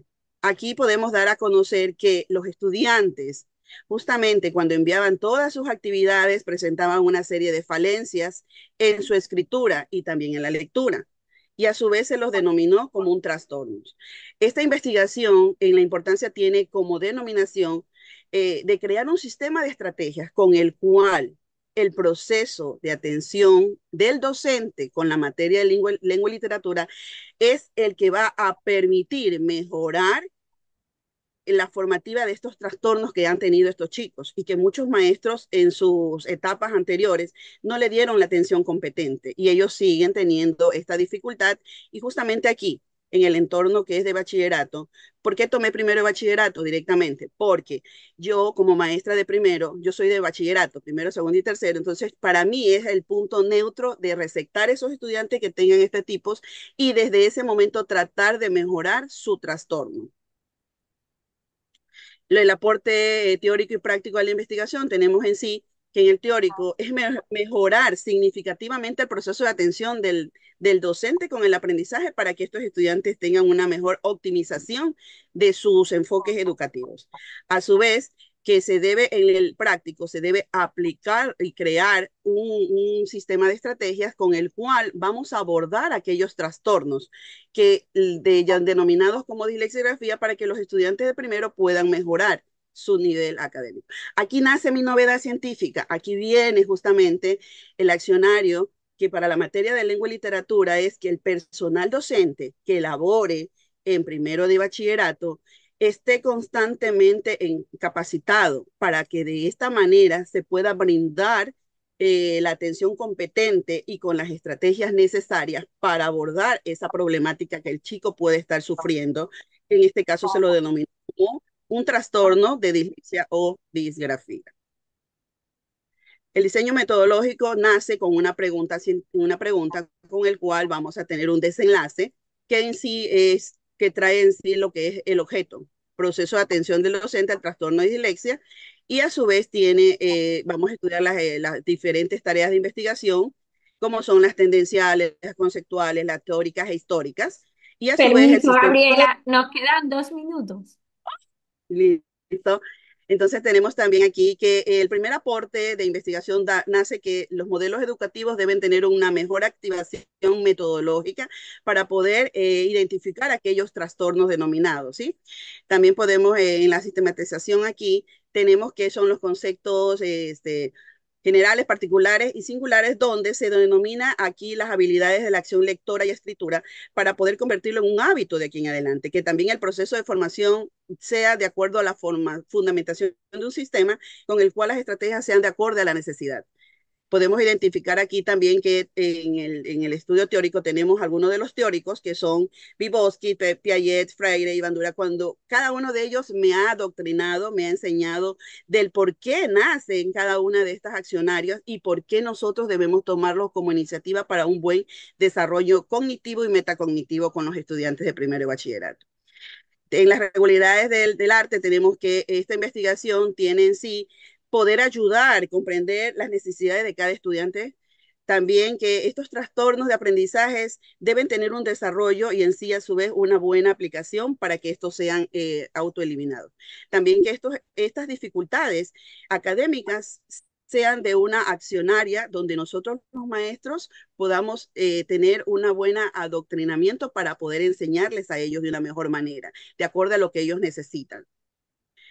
Eh, aquí tenemos este, lo que es el resultado de diagnóstico del teórico, donde eh, eh, se ha trabajado con los que son los directivos, los docentes, el personal del departamento del DS, los estudiantes y los lineamientos que nos envían, en este caso para nosotros, de acuerdo al currículo del Ministerio de Educación, poder guiarnos de acuerdo a la necesidad de cada uno de ellos. En, lo que es la evolución de la historia, historia del objeto de investigación a nivel nacional e internacional, está subdividido por tres etapas en el cual tenemos que cada una de estas etapas me ha dado la información competente necesaria para poder yo trabajar en mi eh, investigación científica. Entonces, aquí en mis temas se que correlacionan con todas estas evoluciones de, de, dónde nace, por qué nace y cómo ha venido en su transcurso, del por qué cada uno de estos accionarios me ha permitido implementarlos en mi proyecto de investigación. Aquí tenemos las categorías principales del objeto en sí, que serían eh, que los estudiantes, el por qué sufren de aquellos trastornos, eh, que estos problemas son muy palpables en los estudiantes de primero bachillerato, que los docentes debemos estar eh, constantemente, enseñar de acuerdo a la necesidad de ellos, debemos ser orientadores, tener las acciones como docentes de interaprendizaje, de aprender para poder enseñar de una forma adecuada, que debemos tener los accionarios de la atención competente. Sonó la campana para Gabriela. Mi celular también. muy bien. Es un tema eh, muy interesante que trata eh, de nuevo eh, la necesidad de que los docentes puedan atender las diferencias individuales de los estudiantes. En este caso, ella nos expone ahí cuáles son las conclusiones de su, lo que se espera con, con su trabajo excelente, Gabriela. Es un, trabajo excelente que eh, tiene un propósito muy grande, que es lograr un proceso de formación ideal para poder atender esa, esa diferencia eh, que fue identificada tras la pandemia en los estudiantes de su institución. Muchísimas gracias y felicidades. ustedes, compañeros. excelente, excelente, brillante presentación. Eh, ahora le corresponde a Marjorie. Marjorie Alarcón. ya puedes dejar de compartir, Gabriela. Marjorie Alarcón está presente, la investigadora. Sí, aquí estoy, doctora. Ay, sí, verdad. Marjorie, buenas noches, bienvenida. Marjorie nos va a presentar un sistema de estrategias didácticas para evitar el proceso de rezago escolar en la lectoescritura.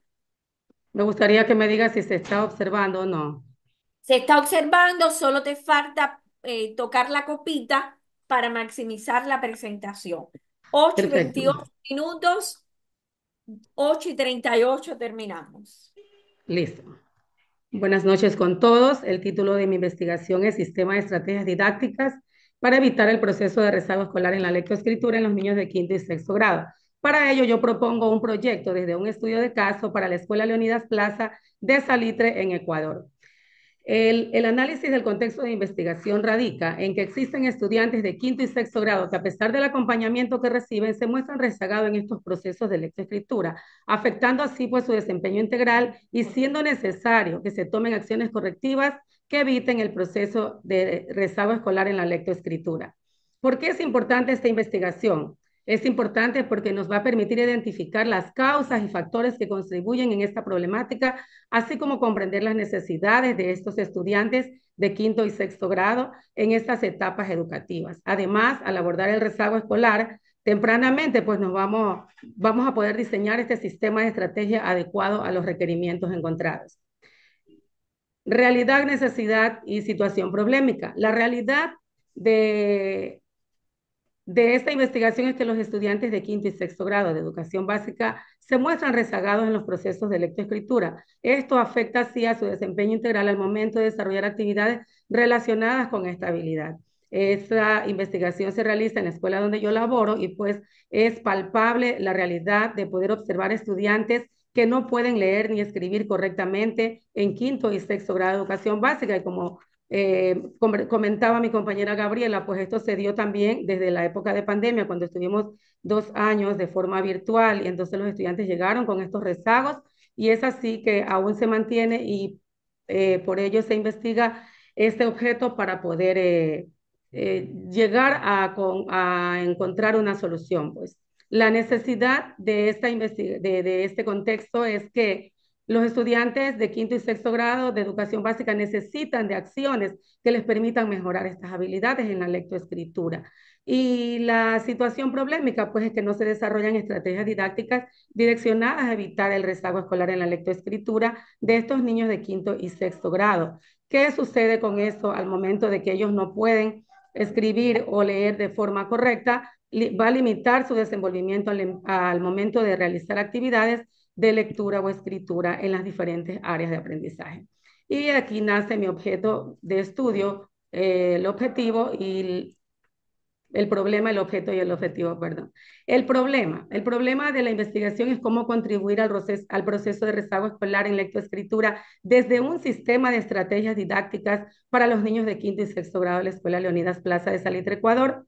El objeto de, estu de, de estudio de esta investigación es el proceso de rezago escolar en la lectoescritura en niños de quinto y sexto grado de la escuela antes mencionada.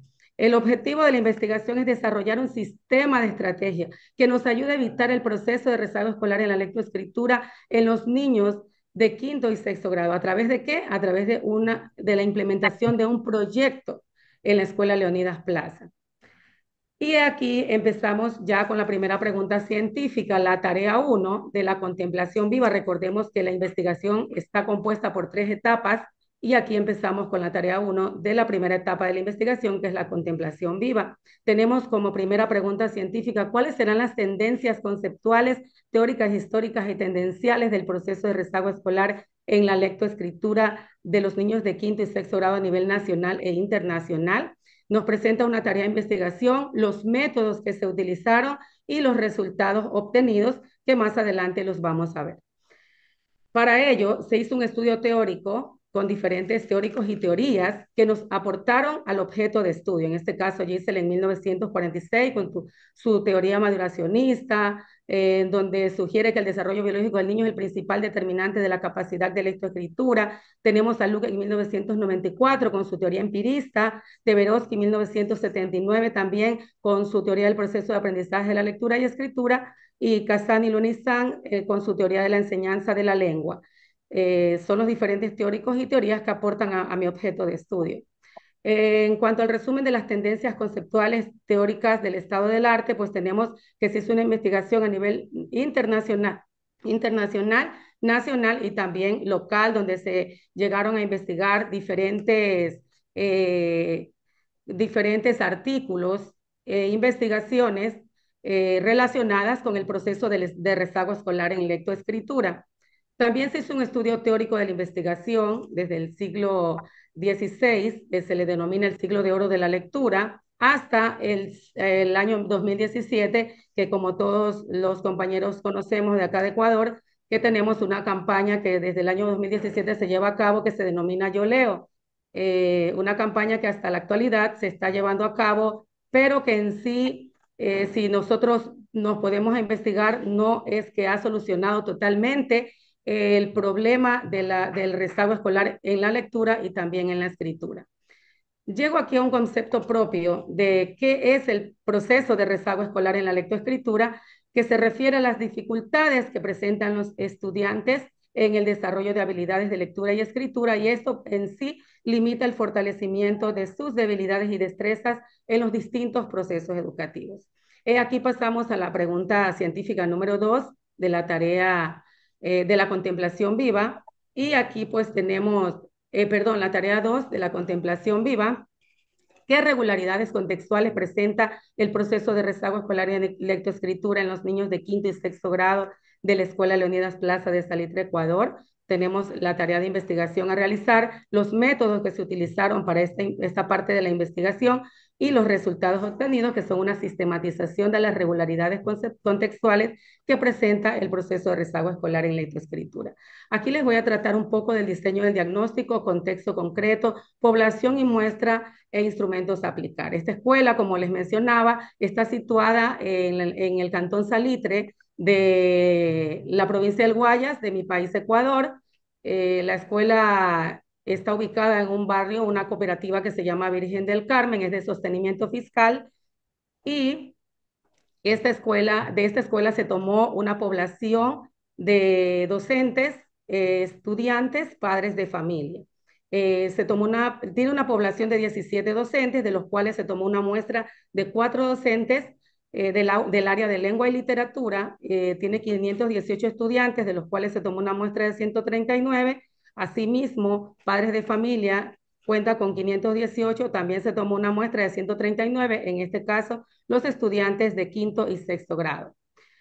Eh, los instrumentos a aplicar en, que se aplicaron en esta investigación fue la encuesta dirigida a estudiantes, una encuesta también dirigida a padres de familia y una entrevista a docentes. ¿Cuáles fueron Permiso, Marjorie, nos quedan dos minutos. Ya, ok. Entonces aquí tenemos los resultados que, que nos dio tanto la encuesta a, estudiantes, a padres de familia y a docentes. La novedad, vamos a hablar en este caso porque nos queda poco tiempo sobre cuál es la novedad científica de esta investigación, que radica en el desarrollo de un sistema de estrategias específicamente diseñadas para evitar el proceso de rezago escolar en la lectoescritura en los niños de quinto y sexto grado. Eh, al abordar de manera holística las barreras que enfrentan estos estudiantes, el sistema propuesto ofrece una solución adaptiva y personalizada que puede ser replicada y ajustada a otras realidades educativas. También tenemos la tarea número tres, que es la pregunta científica sobre las bases teóricas que sustentan el sistema de estrategia. Y aquí pues investigué a varios teóricos con sus teorías que me van a ayudar a sustentar el aporte teórico de esta investigación. Eh, también en los elementos que contiene el sistema de qué elementos contiene, debe contener un sistema de estrategias didácticas para evitar el proceso de rezago escolar en lectoescritura. Esta es la tarea 4 y aquí ya pasamos al pensamiento abstracto. Aquí tengo graficado mi sistema de estrategias para evitar el proceso de rezago escolar en lectoescritura con las entradas, las entradas, que son las necesidades de evitar el proceso de rezago escolar en lectoescritura, mejorar el proceso de lectoescritura y estudiantes de quinto y sexto grado con mejores hábitos de lectura y escritura. Aquí este sistema de estrategia está compuesto por componentes no personales, problema, objeto, objetivo, contenidos, métodos, medios, formas y evaluación. Los componentes personales, en este caso, que van a actuar aquí, pues son padres de familia, directivos, docentes, estudiantes, y la comunidad educativa, pues en general. También tenemos los principios, eh, las etapas de, de este sistema y el entorno en el que se va a desarrollar. Las salidas también tenemos, que es un desarrollo de actividades y es de actividades y estrategias que eviten el rezago escolar de la lectoescritura, mejoras en la comprensión lectora, docentes más capacitados, incremento en el interés y motivación por la lectoescritura. Eh, el concepto del sistema de estrategias viene a ser un conjunto de acciones planificadas a orientar y desarrollar habilidades de lectoescritura en, en los estudiantes a través de una metodología cuidadosamente diseñada y adaptada a sus necesidades, eh, que permitan desenvolverse de manera eficiente dentro del contexto educativo. La última, la, perdón, la pregunta 5, ¿cómo vamos a implementar este sistema de estrategias? Primero, para la construcción del proyecto, se realizó un diagnóstico FODA, de allí el aporte práctico hasta aquí creo que llegaría de la, de la, de la investigación, pues que les presento cómo está compuesto mi proyecto, que está compuesto por cuatro productos. Una guía metodológica con estrategias didácticas para evitar el proceso de rezago escolar en lectoescritura. Esta guía va dirigida a los estudiantes, pero se le entrega a los docentes para que los docentes la apliquen. Luego viene un programa de capacitación a docentes sobre la guía, cómo ellos deben de utilizar esta guía con los estudiantes, un manual de actividades para fortalecer los procesos de lectoescritura dentro del hogar y una fe, esto va dirigido a padres de familia y una feria de lectoescritura enfocada a reducir el proceso de rezago escolar en lectoescritura, pues este producto va dirigido a toda la comunidad educativa.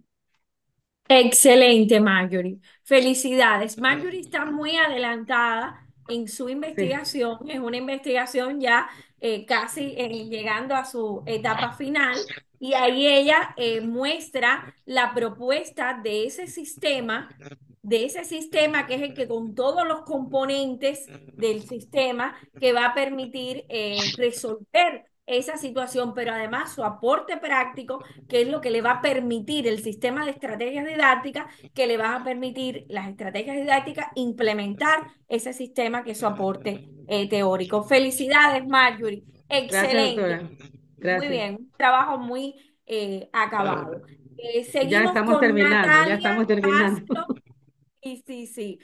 todos hemos pasado por ese, por ese tránsito que hoy ustedes, yo soy alumna, ex alumna de la, de la universidad, también he pasado por todo ese camino tan hermoso como investigadora y, y como docente. Pues nada, ahora Natalia Zarete Castro. Natalia. Buenas noches, Natalia. Eh, bienvenida. Bueno, eh, Natalia nos va a tratar un tema muy interesante que es el proceso de formación transversal para atender la violencia de género en los estudiantes universitarios. Hay alguien también con su micrófono abierto que no acabo de ubicarlo. No sé si es Carmen, por favor. Carmen. Carmen Magdalena. Ya, ya, eh, todo su micrófono, Natalia. Eh, 8 y 41, 8 Muchas y gracias. 50. O sea, a las y 51 terminamos. Perfecto. Muchas gracias, estimada académica que hoy está organizando las ponencias, estimadas eh, compañeras y compañeros eh, aquí presentes. Permítame en este momento presentar el avance de la tarea 1 eh, del proceso de investigación, el cual este se titula ¿eh? Proceso de formación transversal para atender la violencia de género en estudiantes universitarios. Bien, un poco para eh, entender esta contradicción entre la realidad y la necesidad, vemos que los estudiantes universitarios presentan manifestaciones marcadas por prácticas estereotipadas, abuso de poder, culturas patriarcales que provocan la violencia de género eh, de alguna manera en el contexto universitario, normalizándola, incluso naturalizándola entre los estudiantes. ¿Cuál sería la necesidad en este caso? Es justamente reparar estas relaciones sociales de los estudiantes libres de todo tipo de violencia, con el uso de estrategias, mecanismos eh, dinámicos que permitan este, mejorar estos vínculos interpersonales, pero específicamente que sean igualitarios dentro del proceso de formación basado en valores. ¿Para qué? Para conseguir esa transformación social. De esta contradicción nace la situación problemática, que es justamente ese proceso de formación de los estudiantes universitarios que presentan manifestaciones marcadas por prácticas estereotipadas, desde una cultura androcéntrica y el abuso del poder, el cual fomenta esta violencia de género en el contexto universitario por esas carencias de estrategias y mecanismos para aprender lo que es la perspectiva de género en las IES basada en la construcción social, por lo que se requiere justamente un modelo de proceso de formación transversal para atender la violencia de género de los estudiantes. Bien, entonces, ¿cuál sería aquí eh, la relación entre el problema, el objeto y el objetivo? Es justamente cómo contribuir a ese proceso de formación transversal para atender la violencia de género de las y los estudiantes de ciencias sociales de la Universidad Nacional de Loja, Ecuador, que tribute a su excelencia en su modo de actuación profesional. Pues, ¿qué va a ser la investigación? Justamente es ese, elaborar ese proceso de formación transversal para atender la violencia de género en los estudiantes universitarios cuyo objetivo va a ser desarrollar un modelo de proceso de formación transversal para atender esa violencia de género en los estudiantes y permitir implementar estrategias en la universidad. El sistema de conocimiento, eh, en este caso los conceptos, se basan para aportar al objeto de estudio. Tenemos los generales que son el proceso, formación, violencia, género, universidad. Lo que son los relacional, relacionales son procesos de formación, formación transversal, violencia de género. Y por último tenemos ese, concepto singular, que es la base del marco teórico conceptual de toda la investigación y que se basará en un proceso de formación transversal para atender la violencia de género en los estudiantes universitarios. Bien, entre el, marco conceptual se ha considerado eh, lo que son conceptos a nivel eh, internacional, nacional y local.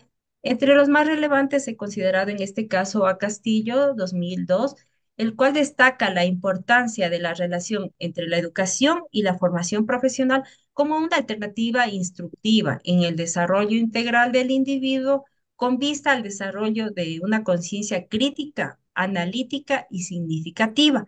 Partiendo de la, de la, del aprendizaje justamente con esa perspectiva cultural y ética y estética, complementados directamente en el plan de estudio, eh, en la estructura de cada asignatura para el progreso del conocimiento académico, es decir, esa formación profesional para la vida. Tenemos también a Vélez 2010, el cual manifiesta que la educación universitaria debe garantizar justamente esa formación profesional integral que se, que se va a partir de la educación en el aspecto de lo social, lo profesional, con esencia en los valores, conocimientos y habilidades. Por lo tanto, eh, las IES cargan un, gran compromiso social en el desarrollo de los procesos formativos de cada individuo desde su eh, concepción, desde el entorno, en los modelos educativos conscientes, complejos, holísticos y dialécticos, basados en lo que es la educación social para eh, la construcción del ser humano.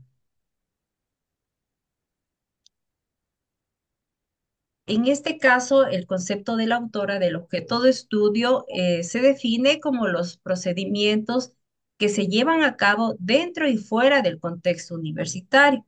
Se caracteriza por su enfoque integrador, capaz de transformar actitudes, incluyendo el nivel de conocimiento, cambios de conducta, participación y el impacto en la comunidad.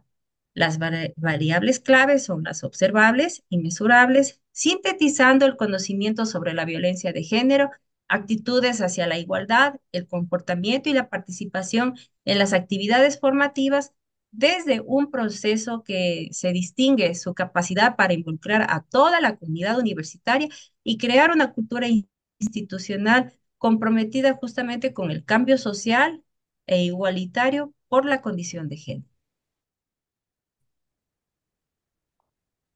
Poquito que no me deja ver esta pantalla, me perdón. ya. En cuanto a la fundamentación teórica conceptual, ay, ay. Ya. Bien.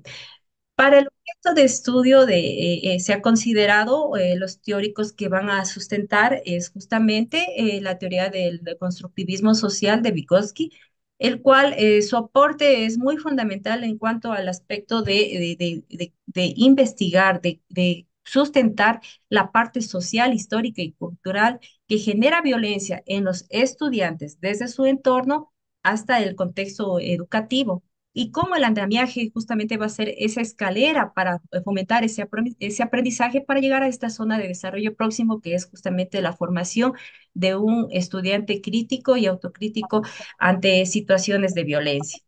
La teoría del aprendizaje experimental de John Dewey eh, también es un aporte muy significativo porque él, este, a través de ese desarrollo de las experiencias, ¿qué quiere decir? Las experiencias que los estudiantes cargan desde la familia, desde su contexto, desde su comunidad, llegan a las aulas universitarias y generan nuevas experiencias. Y esta construcción justamente se va a apropiar a través del aprendizaje eh, eh, de los estudiantes universitarios. Tenemos la teoría del aprendizaje social de Albert Bandura. Eh, este es un enfoque doble, tanto en lo conductual como en lo cognitivo, lo que nos va a dar, eh, dar la oportunidad de percibir ese fenómeno social que genera la violencia y cómo los procesos formativos de los estudiantes Permiso, Natalia, nos quedan dos minutos. Ya, muchas gracias, doctora. Y por último, tenemos la teoría de los procesos conscientes de doctor Carlos Álvarez de Saya, ¿no? Justamente es ese proceso formativo consciente de autocrítica, de, sensibilización y la relación entre la instrucción, educación y el desarrollo un papel importante. Entonces voy a pasar.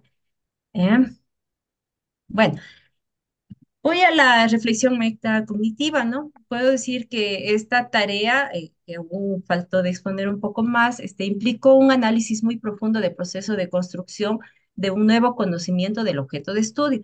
Esta tarea me permitió también guiarme en las etapas de investigación, estableciendo las bases este, común de entendimiento, así como organizar conceptos, teorías relevantes que sustentaron la investigación para un análisis profundo. Pero principalmente quisiera compartir eh, lo que es este, este, este mensaje de Marta Lamas, para lograr erradicar la violencia de género no basta con cambios superficiales o momentáneos, sino que es necesario transformar profundamente la educación y a las normas culturales que sostienen esta dinámica de poder. La educación juega un rol fundamental para eh, la desconstrucción de estereotipos y fomentar una sociedad más equitativa y libre de violencia. Marta Lamas, 2018. Muchas gracias.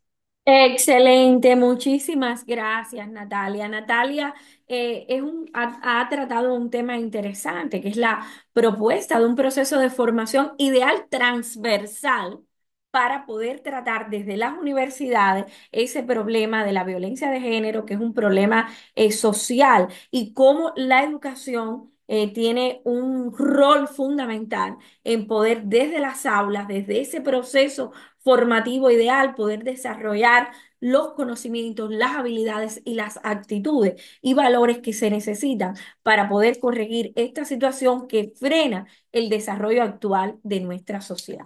Seguimos con nuestra otra investigadora, Rosa Virginia García. Rosa Virginia, ¿estás presente?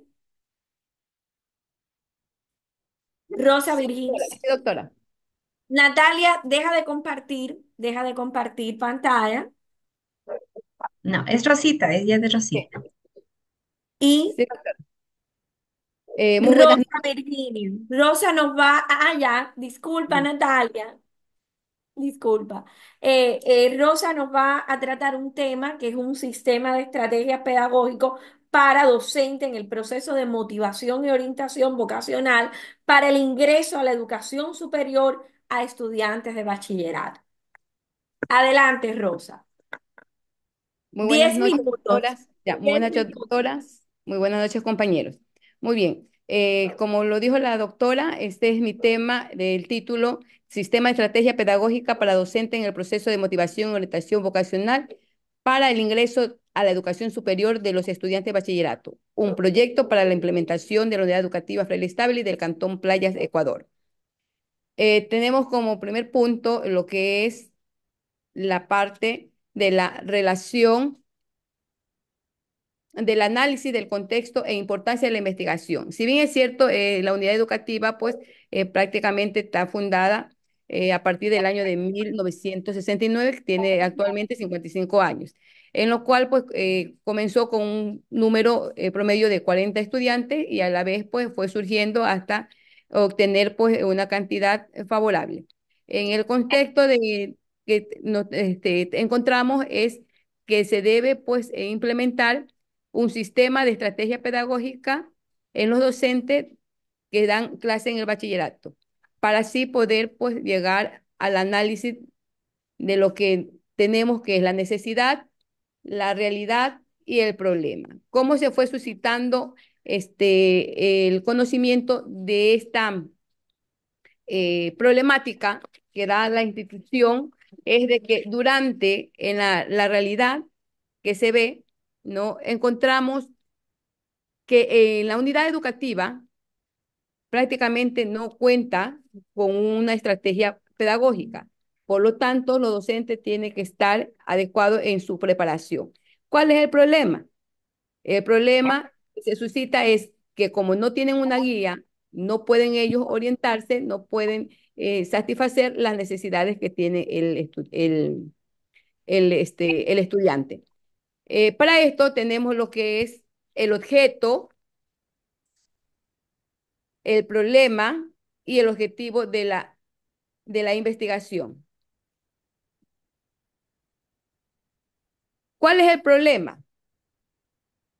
¿Cómo aportar el proceso de motivación y orientación vocacional de los estudiantes de bachillerato en los docentes de la Unidad Educativa Fray Estable del Cantón Playa Ecuador que permita la elección correcta del perfil profesional y su posterior ingreso a la educación superior.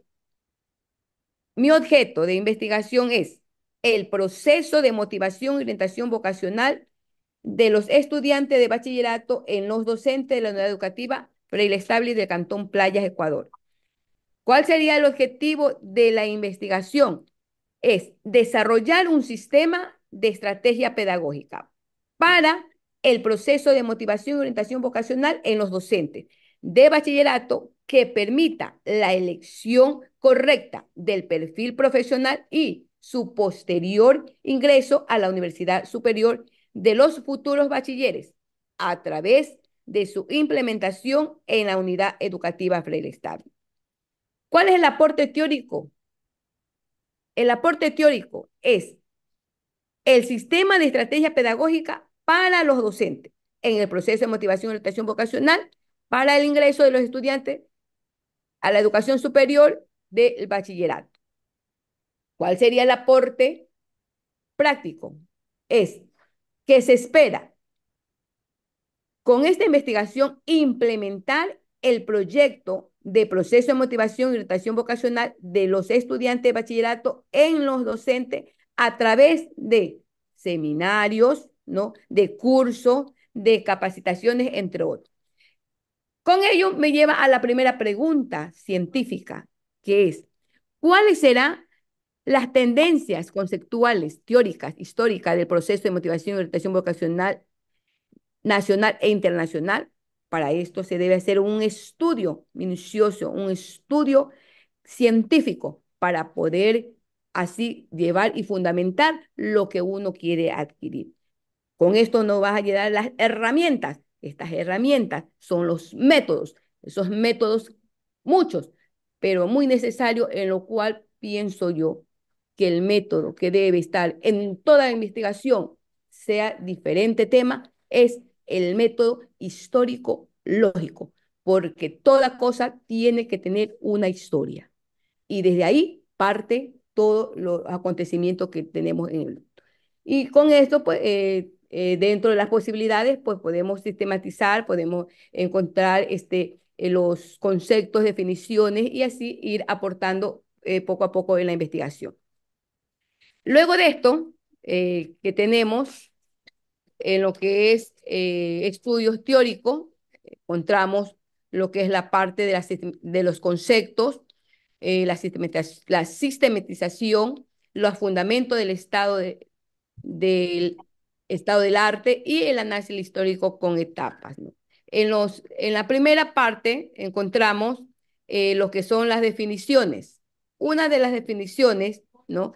Que aquí hay varias, eh, sobre, re- relacionado al tema de mi, de mi investigación, en lo cual, eh, de toda esta parte investigativa, he llegado a la conclusión de un concepto eh, propio, ¿no?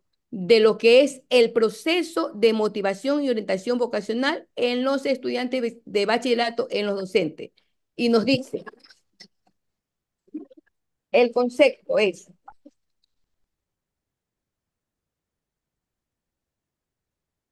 el proceso de motivación y orientación vocacional de los estudiantes de bachillerato en los docentes es entendido como aquel proceso múltiple orientado al cumplimiento de la expectativa.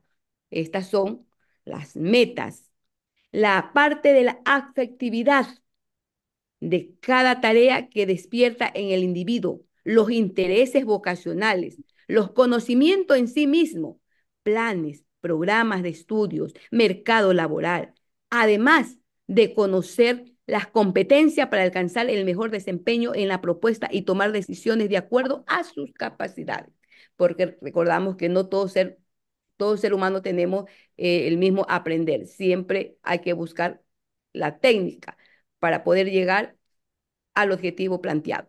Y actitudes para ubicar en el contexto socio-laboral deseado a, la a lo determinado.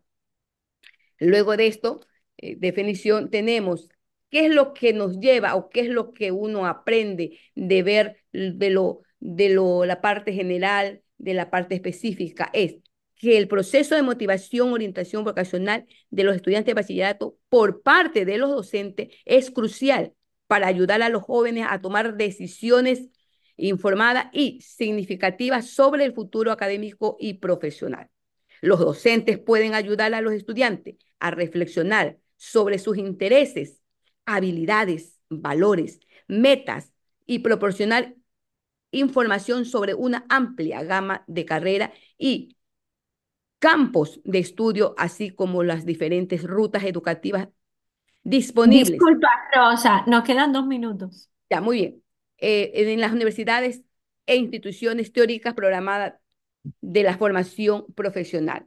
Con esto conlleva a lo que es la parte de teórico. Existen muchos, pero entre ellos encontramos Abraham Maslow, con el gran iniciador del humanismo, Daisy Reins, con la teoría de la autodeterminación, Friedrich Helsing, con su teoría de la motivación, y también pues a Frank Parsons con el enfoque de... Luego eh, encontramos cuáles son esos elementos contribuyentes. En sí va directamente a lo que es a los adolescentes, el experimento de muchos cambios emocionales, porque si bien es cierto, la parte emocional es, es muy importante dentro del ser humano. Eh, luego eh, de los elementos encontramos también la parte de el estado de arte. El estado de arte, ¿no? Eh, hay muchos, eh, en esto en la parte nacional e internacional, pues uno de ellos eh, que me impactó fue la motivación de la piedra angular en la orientación vocacional que ayuda porque nos dan los pasos de cómo se puede influir el individuo dentro de lo que es la parte motivacional. Y con ello, pues, este, tenemos también eh, la parte de, lo, de, de la línea de tiempo, ¿no? Como si bien es cierto, encontramos, este, este es la, la línea de tiempo en cuatro etapas, ¿no? En la primera, como manifesté, encontramos lo que es la parte de los precursores, porque hay que recordar los, el inicio, pues los, los antepasados, pues como tenemos a Sócrates, Platón, entre otros, y eh, luego pues tenemos la segunda etapa, pues que surge lo que es la parte, el término orientación, y el tercero, pues encontramos las relaciones que hay nuevas perspectivas en la parte de la vocación. Y por último, en la última etapa, porque es la tendencia de la tecnología en el siglo XXI, porque sí es cierto, en la orientación, pues nosotros vemos que eh, hoy en día, pues la informática eh, favorece bastante en las pruebas eh, que psicológicamente, pues se establece para no solamente en la parte laboral, sino también en la parte emocional de, de los estudiantes de colegio y de universidades. Muchas gracias, doctora. Este, gracias ha sido... a ti, Rosa. Eh, ha sido tema muy importante porque es eh, la preparación de los docentes para poder motivar a los estudiantes para eh, su formación vocacional, hoy es un tema sum- sumamente importante. Los docentes tienen que estar preparados para poder crear esas bases eh, y asumir las propias necesidades de los estudiantes y guiarlos en ese camino de la selección de una determinada vocación.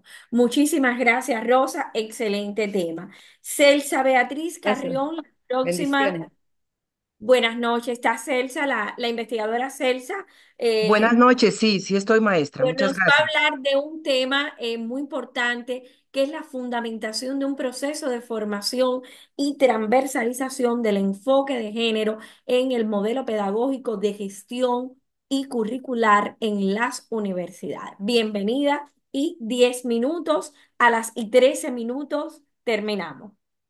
Muchas gracias. Buenas noches, estimada maestra, estimados compañeros. Agradezco mucho la oportunidad que se da en este Congreso Internacional de Educación y el esfuerzo que ha hecho la universidad para generarlo. Este tema es importante porque aporta a la educación superior y se denomina fundamentación del proceso y formación y transversalización del enfoque de género en el modelo pedagógico de gestión y curricular en las universidades, un proyecto para su implementación en la Universidad Nacional de Loja. Existe una realidad y también existe una situación problemática. Esta situación problemática está basada en que los estudiantes presentan algunas debilidades en la formación y en la preparación de mecanismos, estrategias y metodologías para justamente transversalizar este enfoque. Hemos cumplido con un- una larga trayectoria respecto al camino que hemos seguido y entonces se ha hecho una primera parte en donde se hace una investigación a nivel fenomenológico. Hemos pasado a un pensamiento de una moderación del, del aporte teórico y del pensamiento abstracto, es decir, hemos logrado argumentar las bases teóricas respecto a este tema y estamos en el proceso de preparar instrumentos para llegar a un diseño y a un aporte eh, práctico en sí. Por lo tanto, hemos identificado un objeto de estudio que es el proceso de formación y de transversalización del enfoque de género en el modelo pedagógico de gestión y curricular. Hemos logrado sistematizar una serie de conceptos en conceptos generales, conceptos relacionales y algunos factuales importantes como es el concepto del modelo, el concepto de procesos de enseñanza y el concepto de proyecto de formación de docentes. Por lo tanto, el, el camino que hemos recorrido nos ha permitido identificar un concepto generado desde nuestra propia autoría para decir que es un proceso que es muy dinámico. Entonces, no es tan sencillo como hacer talleres, hacer cursos, sino es complejo, que necesita un argumento primero, pero también una forma de hacerlo operativo. Por lo tanto, requiere construir indicadores para conectarse firmemente con la práctica y poner en lo cotidiano esa transversalización.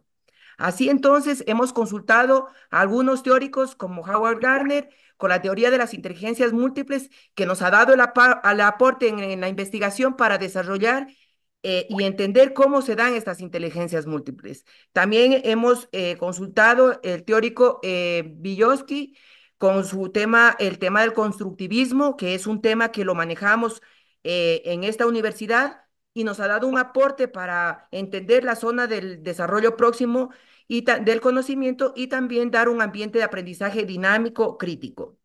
Por otro lado, hemos visto a este eh, teórico Paulo Freire con eh, la pedagogía del oprimido para fomentar esta educación problematizadora y otros que nos han permitido eh, identificar una línea del tiempo de este, de este problema. Entonces, quiero presentar esta línea de tiempo porque el problema eh, es complejo y eh, data desde 1948 cuando se entendía que el tema de género era un tema que se enfoca como, o se confunde con el tema de derechos humanos primero. Luego, en 1980 se identifica el tema de género como la igualdad de género en las acciones.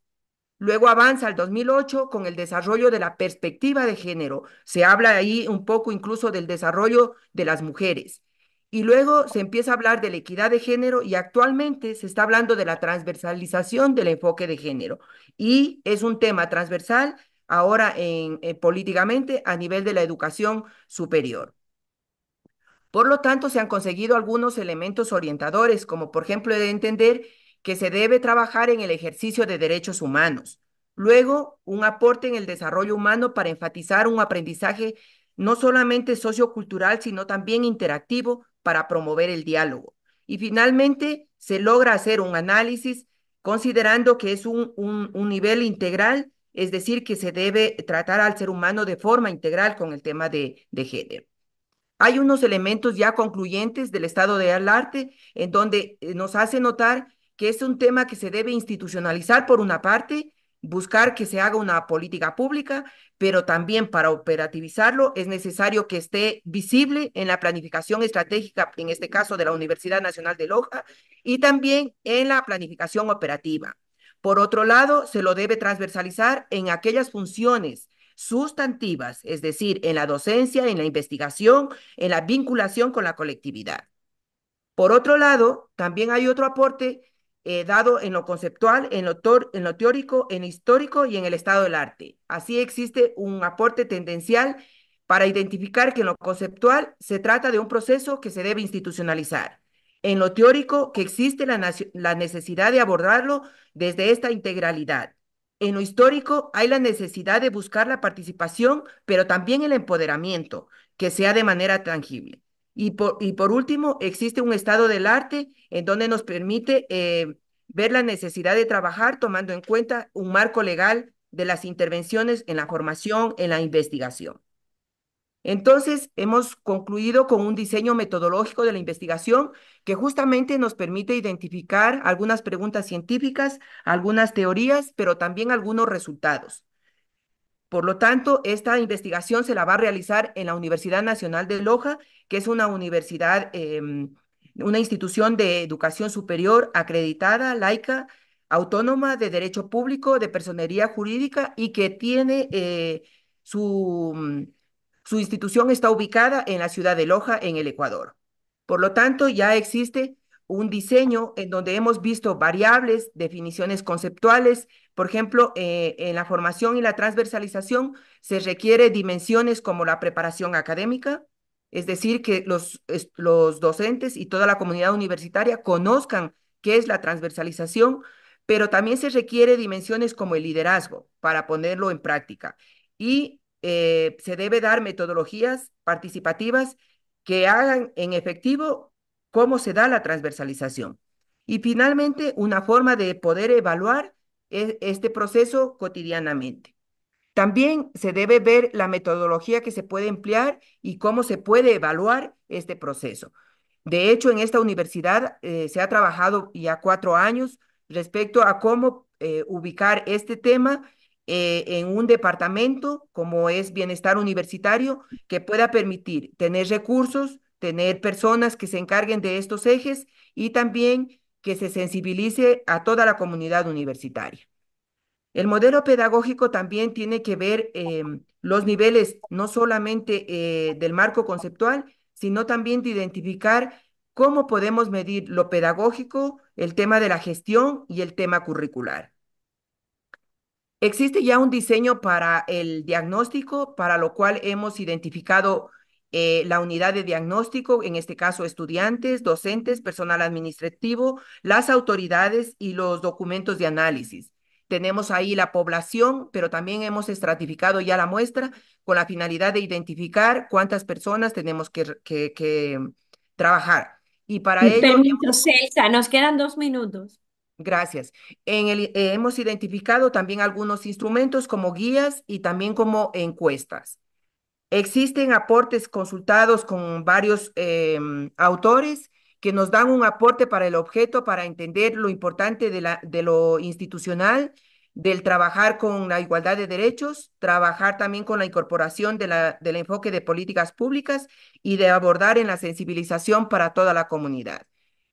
Ahora mismo tenemos ya resultados con docentes porque, por ejemplo, nos damos cuenta que existe resistencia y, algunos prejuicios de este tema. Hemos tenido ya algunos resultados con estudiantes donde nos damos cuenta que existe el desconocimiento del enfoque, la dificultad de entenderlo, la ausencia de recursos.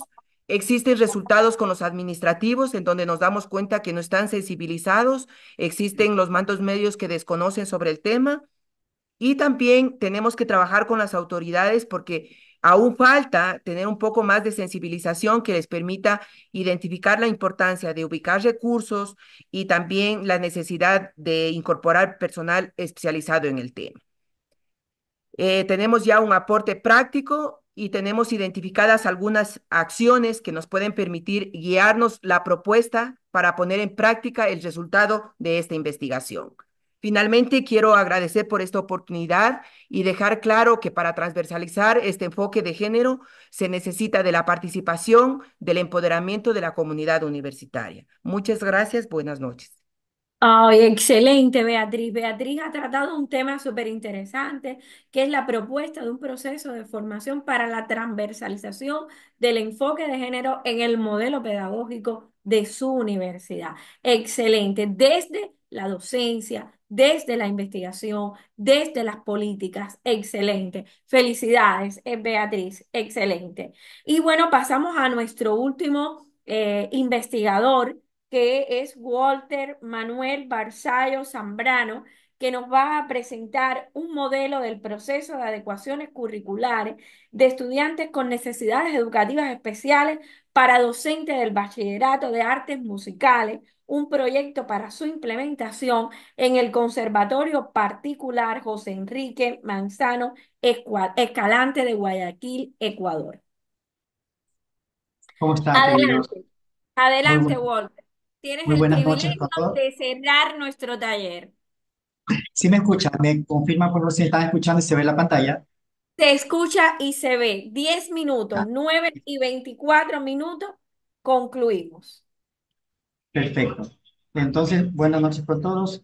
El, título de mi investigación en este proyecto es el modelo del proceso de adecuaciones curriculares de estudiantes con necesidades educativas especiales para docentes del bachillerato en artes musicales, un proyecto para su implementación en el Conservatorio Particular Jorge Enrique Manzano Escalante.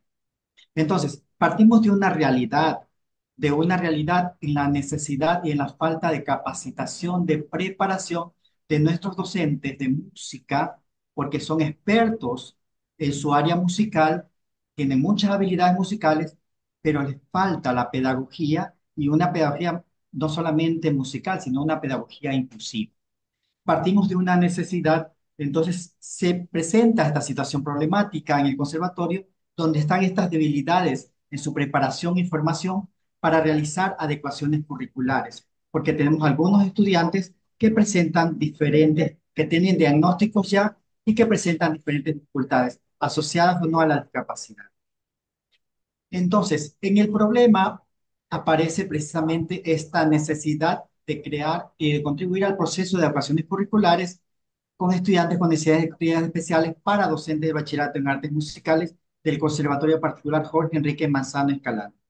Por lo cual nos planteamos el objetivo de desarrollar este modelo, este proceso de este tema y que permita su implementación a través de una estrategia, de un proyecto variado de actividades y de acciones que vayan facilitando este proceso para los estudiantes en este bachillerato que se llama bachillerato complementario en el Ecuador. Eh, y este bachillerato complementario eh, tiene eh, sus, seis, sus 12 años de formación. Cuanto al cuadro relacional del diseño metodológico, empezamos con la primera pregunta que ya hemos estado desarrollando nosotros en este proceso, precisamente cuáles son las tendencias conceptuales teóricas históricas del proceso de adecuaciones curriculares de estudiantes con necesidades educativas especiales para docentes del bachillerato en artes musicales a nivel nacional e internacional.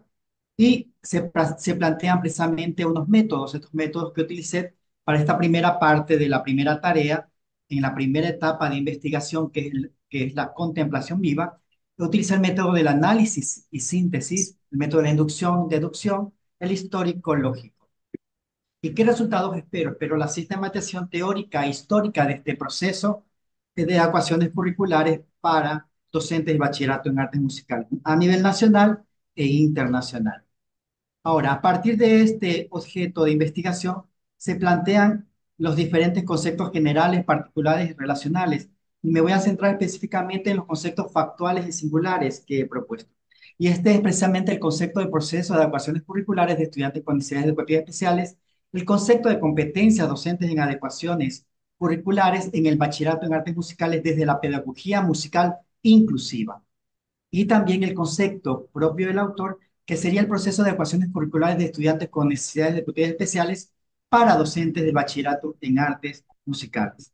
Entonces, en este primer concepto, este, eh, planteado al Ministerio de Educación del Ecuador, que en el 2015 nos dice que son las adecuaciones curriculares de estudiantes con necesidades educativas especiales, son modificaciones que, están que se establecen dentro del currículum y que tienen que responder a las necesidades individuales de los estudiantes. Y también Gómez y otros autores nos hablan del desarrollo y la implementación y evaluación que es parte de este proceso de adecuaciones curriculares. En cambio, ISCO y Miles en el 2020 nos habla acerca de estas necesidades educativas especiales tienen que estar, no necesariamente están asociadas a la discapacidad, otras que están asociadas incluso a, a, problemas de, de, tipo emocional. Y también tenemos este, problemas de aprendizaje. Eh, tenemos también dentro de este enfoque de educación inclusiva los derechos, que es importante que se establecen aquí, la educación para todos y la flexibilidad en, dentro del contexto de cada realidad en la que, se, en la que vive el estudiante y el de la unidad educativa. Incluso la neurodiversidad de la persona, sí, porque como nos dice la neuroeducación, cada cerebro es único e irrepetible. Dentro de los conceptos eh, singulares, tenemos estos, las competencias docentes en educaciones curriculares, bachillerato en artes musicales, desde la pedagogía musical inclusiva. ¿Es qué son estos? Son habilidades que los maestros y los músicos deben desarrollar para la enseñanza del aprendizaje del arte musical como un proceso académico profesional. No solamente va a mejorar la calidad de vida de ellos mismos, sino también ayuda al proceso de los estudiantes a nivel emocional, social. Y también este, este enfoque educativo no solamente va a tener un enfoque educativo, va a tener un enfoque terapéutico. Y esa es la novedad que es la que, queremos, la que yo propongo en mi, en mi, en mi trabajo de investigación, la Eureka, precisamente esa novedad, que no solamente es un enfoque educativo de formación académica musical, sino también que sea un enfoque terapéutico que permita mejorar los procesos cognitivos y psicológicos a nivel social, motriz y emocional de estos estudiantes con necesidades educativas especiales, para ayudar a superar sus problemas a través de las estrategias eh, inclusivas de pedagogías musicales inclusivas activas. En cuanto a mi concepto particular como autor el, del proceso de educaciones curriculares de estudiantes con necesidades educativas especiales para docentes del bachillerato en artes musicales, propongo que eh, son las diferentes acciones de acomodamiento que se realizan en los componentes de la oferta educativa establecidas por los entes competentes de cada país. Estas adecuaciones se realizan de acuerdo a los tres grados de, de necesidad educativa, que es al currículo, a la metodología y evaluación, y otros que van directamente a los contenidos del objetivo, que son ya adecuaciones de, de, que son significativas. Pero la novedad que aparece aquí es precisamente que eh, este, este proceso de educación curriculares son competencias y destrezas y habilidades de los docentes que les va a permitir el desarrollo humano y profesional basado en estos valores inclusivos, al ser capaces de pensar en el otro y de entrar en esta sintonía porque es tan difícil entrar en esta sintonía con la situación propia de ese estudiante y no de un grupo de estudiantes como tal. Y transformar la vida del docente de música haciéndolos más sensibles a las realidades sociales y por ende este, eh, a instrumentos de rehabilitación terapéutica, como yo quiero terminar este enfoque de novedad científica, que para mí es el paso hacia el, hacia el no ser para llegar a ser. Es la actitud de la kenosis, de la kenosis, que en griego significa el vaciamiento de uno para poder llenarse del otro y entender al otro. Esa es mi novedad científica. En cuanto al estudio teórico, eh, tenemos a Vygotsky, Warnot, eh, Knowles, Dalcroze, Shinike Suzuki, que con sus teorías van a aportar a mi proceso investigativo. Son, los dos últimos son eh, pedagogos musicales. Este, Michael dentro de la pedagogía de la enseñanza de, los adultos y lo demás dentro del desarrollo propio del estudiante, no dentro de la educación. Disculpa, Walter, nos quedan dos minutos. Perfecto. Entonces, dentro del estado del arte, eh, encontré a Pantoni, Altamirano, Pindo, Barrio y Barraza, donde a, a pesar de sus planteamientos sobre la educación inclusiva, este, no, eh, le falta el aporte inter- interdisciplinario que debe tener este, la formación de los docentes con enfoque inclusivo, falta también este, que facilite la formación integral, falta fortalecer y reforzar la enseñanza musical en la vida y falta también políticas institucionales, propuestas de pedagogía musical inclusiva. Dentro de la línea de tiempo encontré tres fases o periodos, que el origen y desarrollo, la inclusión musical activa y modernización internacional y la reforma de la expansión. ¿Cómo se mueve mi objeto de estudio? Se mueve especialmente, eh, aparece dentro del currículo eh, nacional, del sistema nacional, en el año de 1890 y después se va a ir desarrollando y moviéndose hacia la Ley Orgánica de Educación Intercultural que establece en 2011 en el Ecuador. Y por último, se va a mover este, eh, la educación musical inclusiva limitada. Hay programas de educación musical, hay programas de segregados, pero no se entrega el currículum general hasta después del tiempo. Y finalmente, el resumen de estas tendencias, que son la pedagogía musical, las competencias, el enfoque individual, los valores humanos, las oportunidades, el proceso terapéutico, el aprendizaje musical, la tecnología para la sensibilidad humana, las regularidades que son los materiales didácticos, la tecnología colaborativa, las políticas institucionales docentes comunicativos.